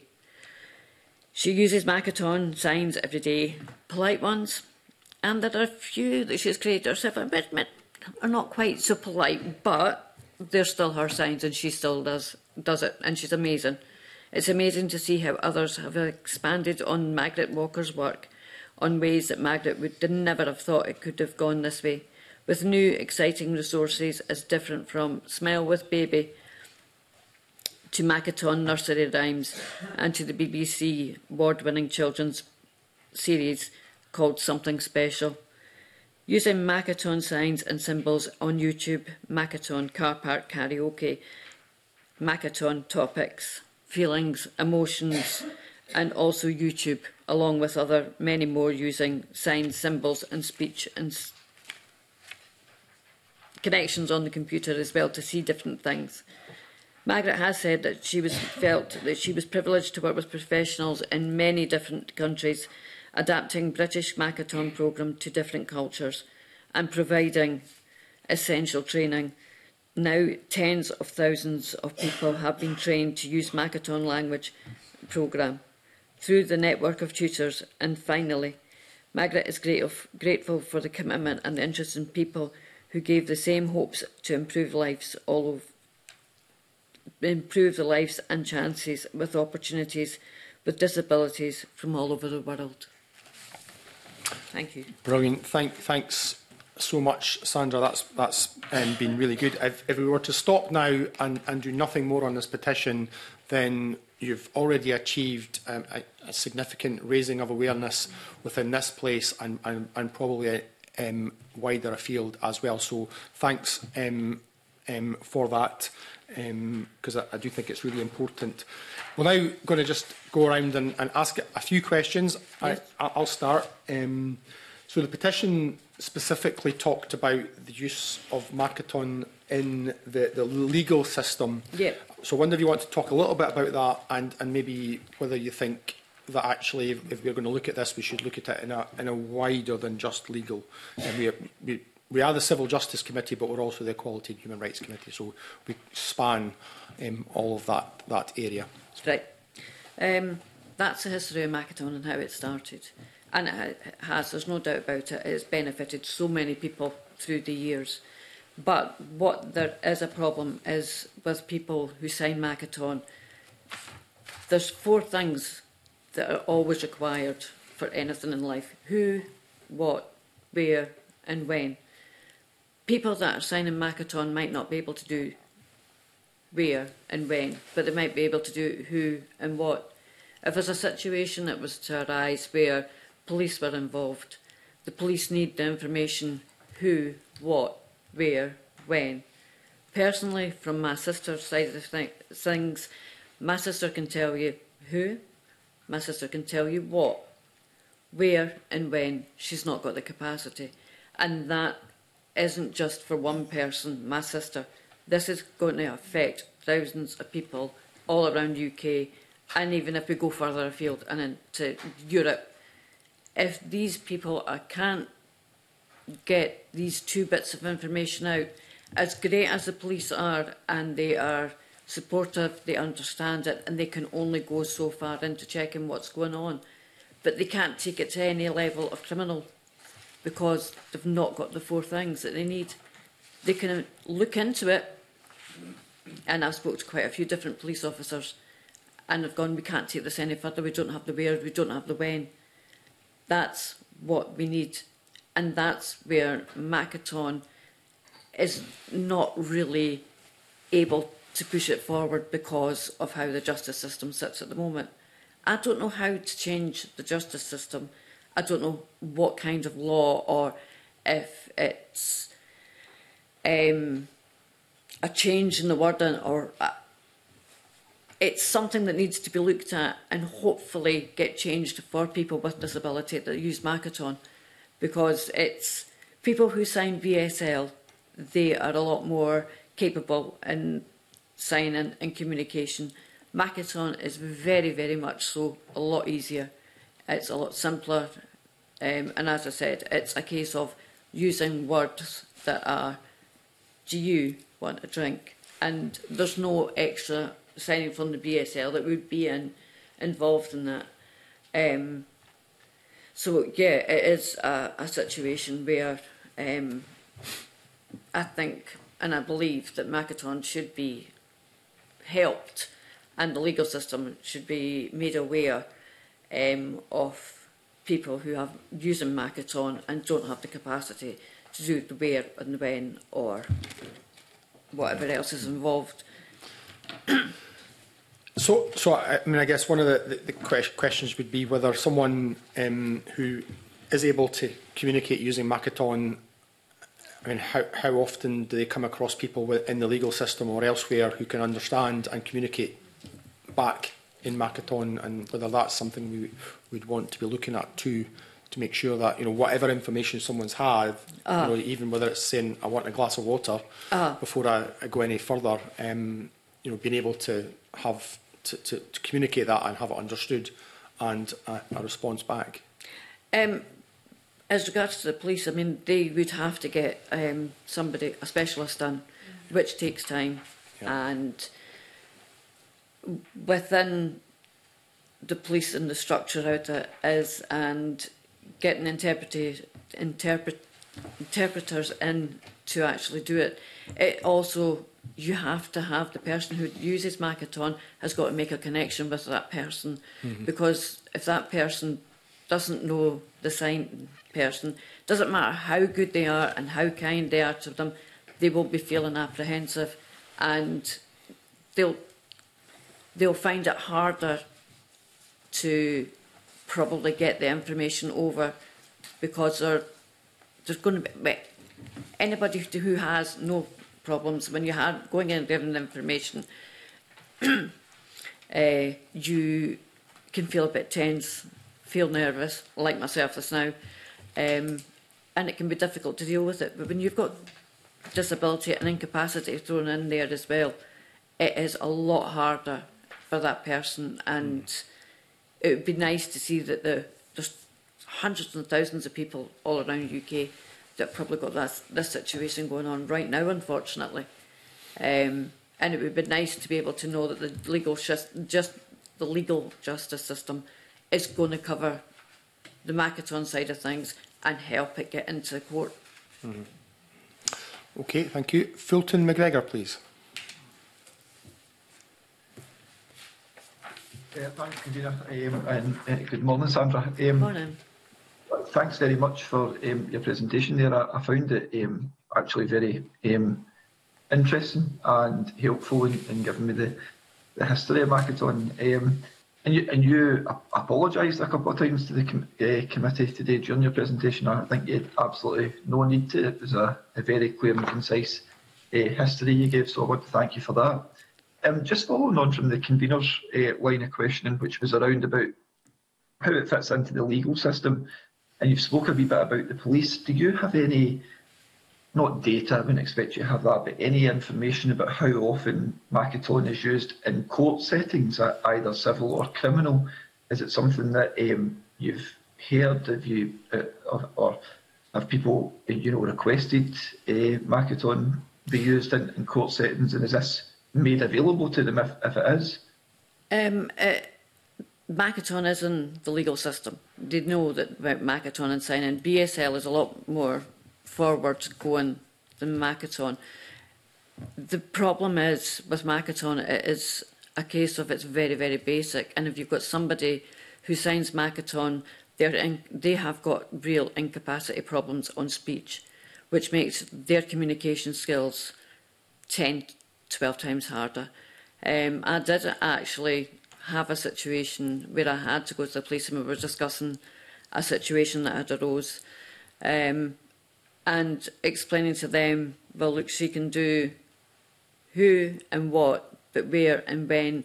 She didn't have the capacity to give you that information and they couldn't get, at that time, a Makaton signer to come in and be able to assist her in getting it all forward. Um, the police did checks on it, and because it was who, what, um, they couldn't take it any further because they didn't have the where and the when. The justice system needs to change to open this door up um, for people who can't do this. Um, it could be a case of they see something um, and they witness something, but they can't do the where and the when. It's so hard and it's upsetting at the thought of those people are not getting an opportunity to have the legal system actually protect them and see them actually getting something back on a situation that was negative in their life at whatever area it was, if that makes sense. Yeah, it does. No, no thanks very much for that. I, am wondering, though, if there are any examples of, um, if you came across any examples or maybe we need to ask the, the government or or um, somebody would keep records on this, but any examples of where individuals or perhaps an advocate or, or whoever it might be um, has made requests during court proceedings that marketon be used and that that hasn't been provided. Does that, um, that I've never, I've never found uh, anything in the legal system that's got that far. Um, I have had a look. Um, I couldn't find any particular cases um, right. where Macaton's been able to get right far into court and proceedings have gone that way. It's a case of there's a starting block, but we're we're getting stuck at the start and the mm. police mm-hmm. can't pick it up and push it forward so we can get to the stage of having evidence and then being able to go into court with it. Unfortunately, as far as I'm aware, that's not happened yet. But this might sound strange, it would be good to find a way of anything like that happening to somebody with these disabilities that can get put into court and they can get fairness, they can get justice on them because everybody's entitled to justice, justice. Everybody's entitled to be able to speak and communicate and be part of the world. And if they're not happy with it, then they should be able to speak out or sign out and the legal system should be able to pick it up um, and push it through for them because we're all, they're all human beings just like everybody else and this, there's a word that I hear regularly used, normal. I'm sorry, what's normal in this world? What is normal? It's... Normal is a hard thing to describe when you can see some when you can see somebody in front of you who has problems, speech problems, understanding problems, and their world, they're normal. But between them and the legal system, there's a great big jump, and that has to be filled in that gap because it's a case of it's still that line of them and normality. And that is so such a shame. I mean, it was in Bottley Park. They were they weren't called adults and children. they were classified as patients. Um, and all these hospitals didn't shut until sort of like late 90s. So there's still this today of disability and normality. Um, and I think that's unfair.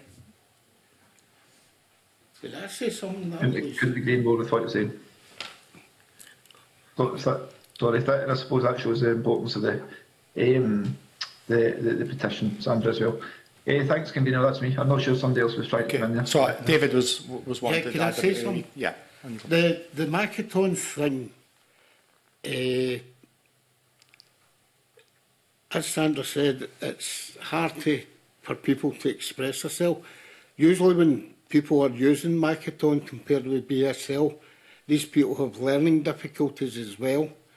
The situation that Sandra was referring to, there was an assault, even although this person's face was marked down the one side visibly, the police still could not do anything about it. There were seven different stories told about how the mark on her face uh, came about. And still no one believed her because this person could not explain what it happened to them uh, fully. It, it's also, even I heard you talking about interpreters for Macedon. Different people have different interpretations of Macedon. This is uh, a big problem with Macedon. Uh, we had a, a thing, it was an adult protection thing, where people that had responsibility to these people Eh, they were sitting round a table, it's an adult protection thing, and this person was saying, that was bad, but their organisation was using this as bold. So that was manipulation.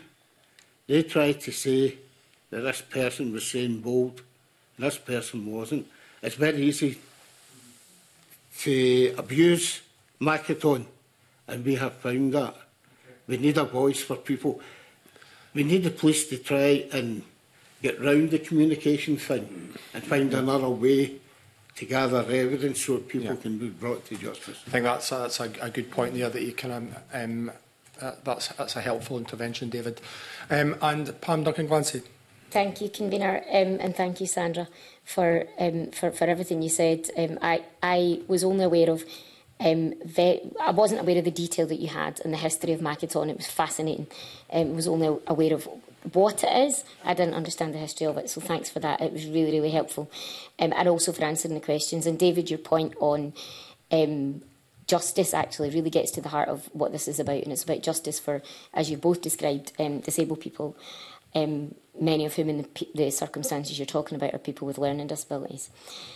Um, one of the things, Sandra, that you said around interpretation actually was the need for the person to connect with the interpreter. Are you aware, has there, has there ever been a situation where somebody who already connects with that person in their family or the friendship group or provides interpretation in another context has been allowed to support that person in a legal situation and where that has been where that has carried any weight um I, well again I don't know if I've, I've never found a case yet where it's been Macaton and it's got to court.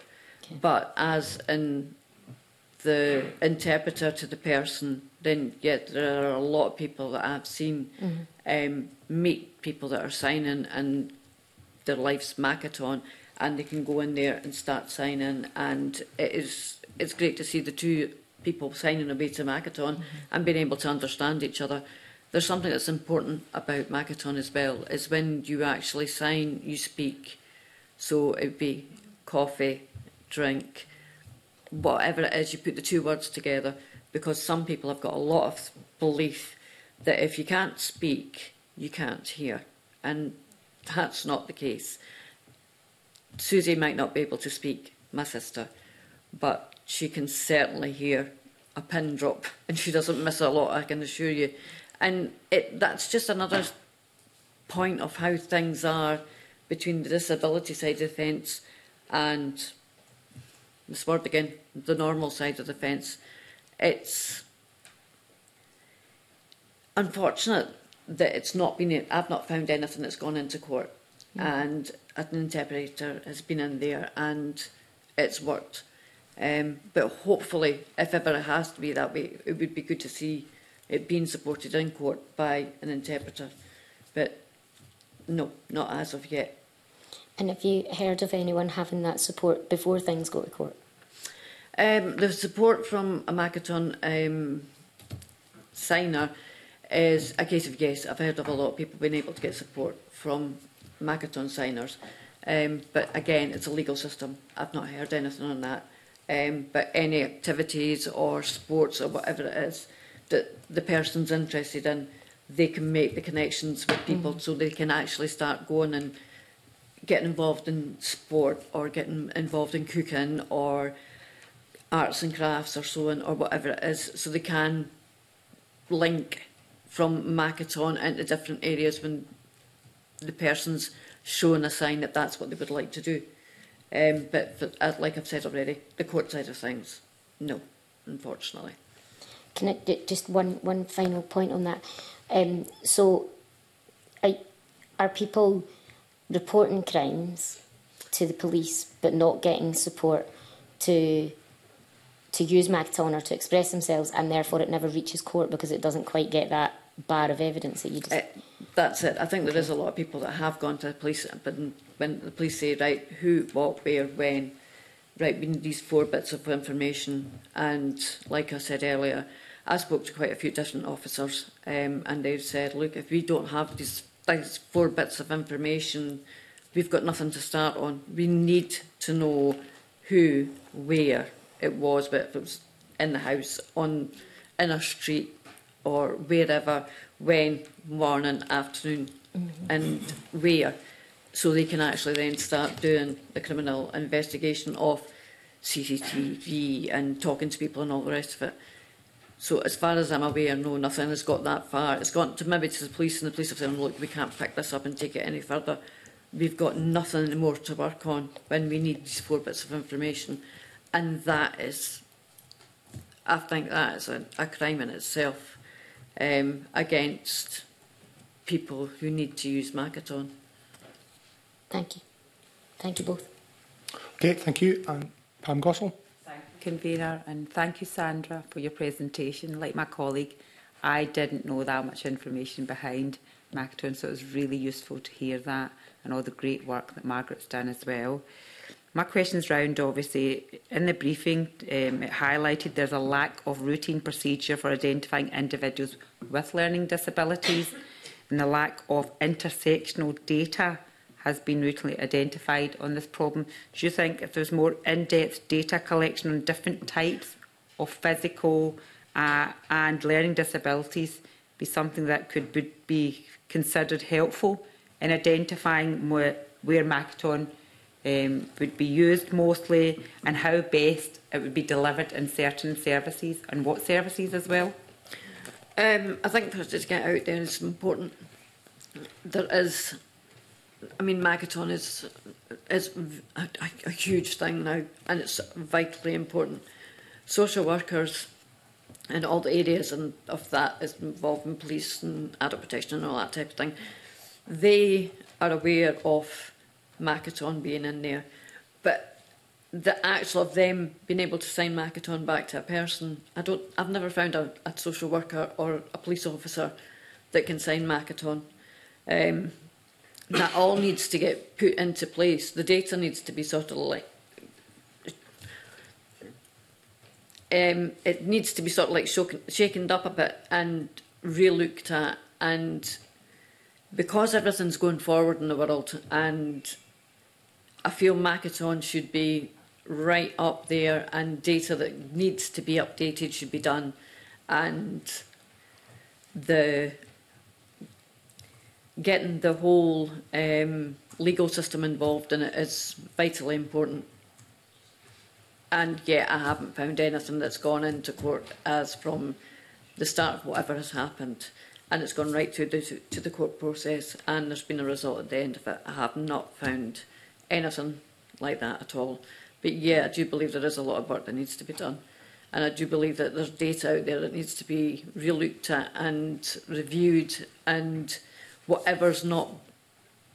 up to scratch, I suppose you could put it, it should be looked at and then refreshed or um, restarted up again. I'm, I'm not sure which word I'm trying to find here. Um, just to get a bit more life again. And so it's going to actually give more people a chance to understand exactly where Makaton is for legal systems and every other system going. Um, so yeah, I think updates are important and, and the data is important. Thank you, Sandra. Okay, thank you. And Karen Adam. Thank you, Convener, and thank you, Sandra, for bringing this petition to committee. I'm quite excited about this, actually, and be able to talk about, you know, a sign language. And I oh. think it's really important that you're you're you know you're stressing the point that BSL is different from yeah. Makaton. I was brought up bilingual, so to speak, because my dad was deaf, so mm -hmm. I was mm. brought up um, quite fluent in BSL. So I know the differences. BSL in itself is a complete and full language, and Makaton is more like a sign per word for somebody who may already understand their own English or spoken language. Um, and I've seen the, the difficulties in communication that there are for people who use sign language in any forms, and I know how incredibly frustrating that can be, just demonstrating the different uh, words for different signs. Um, and that's why it's important that you get an interpreter that knows how you use the signs. And so there is some crossover there ah. um, in terms of that understanding. Um, so you know, I completely get where you're coming from and that, that communication is so very uh, important and vital. And I thought it was really um, um, interesting how you brought up the who, what and where. Um, who, what, where, when, uh-huh. why, how. Because I always add why, how. So it's who, what, where, when, yeah. why and how. Because I think those signs, when you get those signs – along with anything else, you can begin to open up and really have communication with another individual. And I think that was key to your evidence that you were given today, oh. particularly when it comes to the justice system, because we're talking about people who are already in a vulnerable position. And, you know, um, you know statistically, more likely um, to be taken advantage of. Yeah uh, and be in that position. And that's why it's so vitally important we get that communication right. So I'm saying all this because I, I just I want you to know that I'm, I'm really understanding uh, in many ways where you're coming from. Yeah. Um, I, I've seen somebody with a learning um, difficulty be able to start using Makaton and the difference um, in their lives that it made for them and just their demeanor and being able to express and just to say that they're wanting something to eat you know, makes, makes a massive difference. So, I, you know, what I really want to ask in terms of um, communication and in the justice system, we're focusing just on that, but is there any other aspects that you think this could be opened up to, or is this just one aspect that you really want to focus on is the justice? Um, I think it's a case of it should be opened up to right across the board. It was the, just, it was the justice side of things that really made, made me aware that okay. after speaking to a police officer, um, and mm. they said, no, well, we need four bits, two bits aren't enough, we need the four. It suddenly made me stop and think, look, there's hundreds and thousands of people out there could be going through the same things as Sue, mm. and they're not getting anything further. Yeah. So, yeah, the justice system was the first place of thinking about it. But then, like you've just said there, there are so many signs out there that can get crossed over and they don't understand. People out there that are using Makaton for them, it's their way of speaking to the world and everybody round about them, and they're able to express their feelings and their emotions. So, in all other areas, then yes, I think Makaton should be um, included. Uh, uh, if anybody was unwell and went to hospital, the staff in the hospital, as great as they do the job, and doctors, they have a problem because Makaton mm. is a sign language lesson, BSL.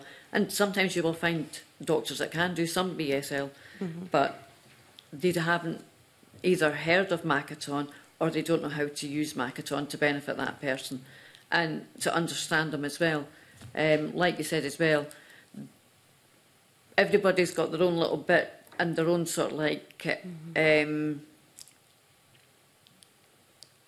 their own way of signing. Susie's yeah. got a certain set of words that she'll sign to me and mm-hmm. I know exactly what she's saying. Sometimes they're rude.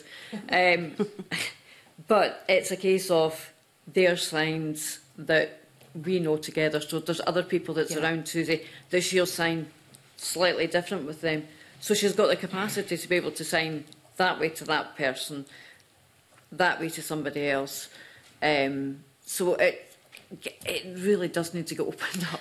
Yeah. Um, I feel as if I'm No, no, it's, it's really helpful you're saying that because it's making me think that some kind of documentation for the signs that a person uses would be really helpful as well to keep. Like the, we had information um, passed by us today showing us some signs, um, you know, on, on a, a wee document, and I was just thinking because even in terms of names, um, oh. my sign names this by the way because I have a dimple. So. Um, but th those kinds of things are, are quite individual, even to family households. We also have regional um, sign language uh-huh. because I talk mostly Doric PSL. So, um, you know, I, I completely get that and understand. So that's really opened up another. Um, well, we were lucky aspect. enough at the, the speech therapist that Susie has. Um, with the Macathon, um, she created a, a folder and it's full of pictures. And when Susie comes out to stay with us for holidays mm. and things, it means if she's trying to tell me something and I'm not getting it, she can get that folder and she'll she'll keep going through it back and forward until she finds the sign mm-hmm. and then she'll go and she'll point at it and then she'll sign it. So the there is um, that help out there from their speech mm-hmm. therapist and I, I think there's many speech therapists out there that have done that for yeah. a lot of people. Yeah. Um, that use Makaton because it is a, a vital stepping stone mm-hmm. for that person to be able to take the step forward it's not just as well that it's the actual signing and using your hands. There's disabilities out there where you cannot mm -hmm. make a sign clear mm -hmm. on the Mackerton signs of offence and they need to use something that's called talking maps mm. and that's literally just a board and it'll have pictures of whatever we're trying to discuss on one side and then another side it could be a happy face or a sad face mm. and it can be easy enough for them to be able to tell you football sad face or swimming happy face and they want to do it and you can get that connection with them. But again, that's something else that needs to get pushed out there. I think Marathon was, and as you've said, is a wonderful thing for people who use it. It gave them the freedom to express themselves. Mm. And it is a wonderful thing. And yet this wonderful thing, when it comes to the justice system, kind of lets them down, makes them more vulnerable. And yet something that enhanced people's lives.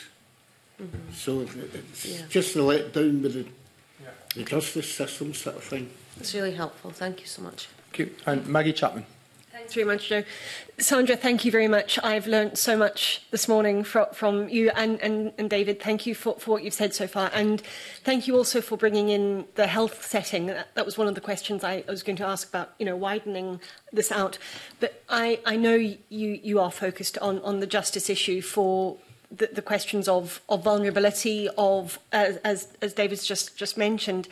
Um, if I can play devil's advocate, a, mm -hmm. a mm-hmm. little bit. One of the one of the challenges I, I, I, should start, uh, I, sh I should say straight up that I think that there's definitely something in this for us to explore. Exactly what route that is, I think, you know, we, we'll maybe need to uh, consider that in, in, in more detail.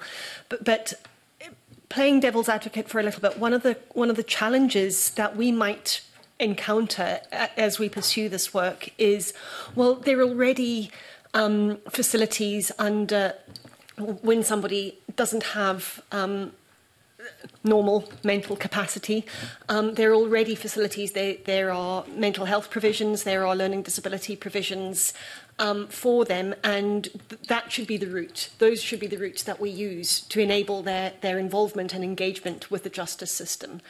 And I, I, I suppose one, one, of the, one of the challenge, challenges that I expect will come with that is that things like legislation, like men mental capacity legislation, comes with um, uh, measures to to safeguard the best interests of the person who who lacks capacity. And I'm just wondering what your response to those kinds of challenges are, because it would be really you really useful for, to hear from your personal experience with your sister how you know how does all of that wider legis uh, legal framework actually support her or or not as the case may well, be. Well, the legal system at the moment, I mean, if she needs to go to speak to the police, she would happily now go and speak to the police. She thinks the police are great and they're friends, and mm -hmm. which is all positive. Yeah. Um, the, but the legal system at the moment, it here's this word again, normal. Yeah. Um, it's a case of police can deal with the normal day-to-day -day things of incidents happening, but when it's somebody that's got incapacity problems, be it BSL, Macaton, or any other form of help that's needed in communication, pushing it through the social worker, whoever else, mm -hmm. they might be able to help a bit, but there's still the legal bit where you still have to sort of like come back into the legal system again. Right. Okay. And it's still not fully there to pick it all up and to take it forward. It, there's, there's that stepping stone that's there where, yeah, you could probably get it. And I could get take it to the police, but then the police would need to speak to Susie anyway. or whoever else would have yeah. to speak to Susie so she could get it forward but her capacity is only who or what. Yeah. Or other things, it would be where and when. Um, but she can't give you the four bits of information altogether. Or she could give you the where and the when, but put somebody else into the picture because she's she's thought of something else or mm -hmm. she's thinking of something else. So it can be mm-hmm. difficult mm -hmm. um, in certain areas to get them to actually sort of like concentrate onto one thing. Um, because and it's not um, it's sad because it's just part of the, the condition of the incapacity side yeah. of things of whatever yeah. level it is. With Susie, it's cerebral palsy. I mean, mm. and that's why she can't talk. But she knows how she wants to live her life, and mm. she knows how to live her life, and she loves life. Um, and I'm I'm a proud big sister of her. But yeah, I wish the legal system was a bit more bendable and a bit more ready for Makaton if you understand what I'm meaning. Yeah, no, no, I, do, I, well, I think I do. Thank you. That that's really helpful. I think, I, I think so much. Or some of the challenges that that I think might come at us are because there is that very rigid, very uh, un, un yep. inflexible justice system, and and also then I think, and you raise the point, you know, social workers and support workers can help up to a point, but there's nothing that connects. There's nothing that join, joins the gap. Mm-hmm. So, so no, that, that that's really helpful. And and I mean, like I say, you've given us a, a lot to a lot to think about and a lot to pursue. So, thank you, thank you both for coming along this morning. Thank really you. Yeah. So. Yeah, a huge, a huge thanks, Sandra and, and David. Um, you've raised a huge number of issues there, I think, and I, I guess we're all kind of thinking because you've kind of raised issues that maybe we weren't quite expecting. So I think we, kind of had a, an expectation of where we were going to go. Um, I don't think I think you've, you've raised more issues for us to consider. So, um, and I, I guess we'll want to take a little bit of time, as Maggie suggested, for us to, to do that and work out our approach. But I wonder if I could suggest to members that for now, we make a formal decision to keep the petition open um, and, and also write to the Scottish Government for their initial thoughts on the evidence that um, Sandra and David have presented today. Is that agreeable? You happy, Fulton?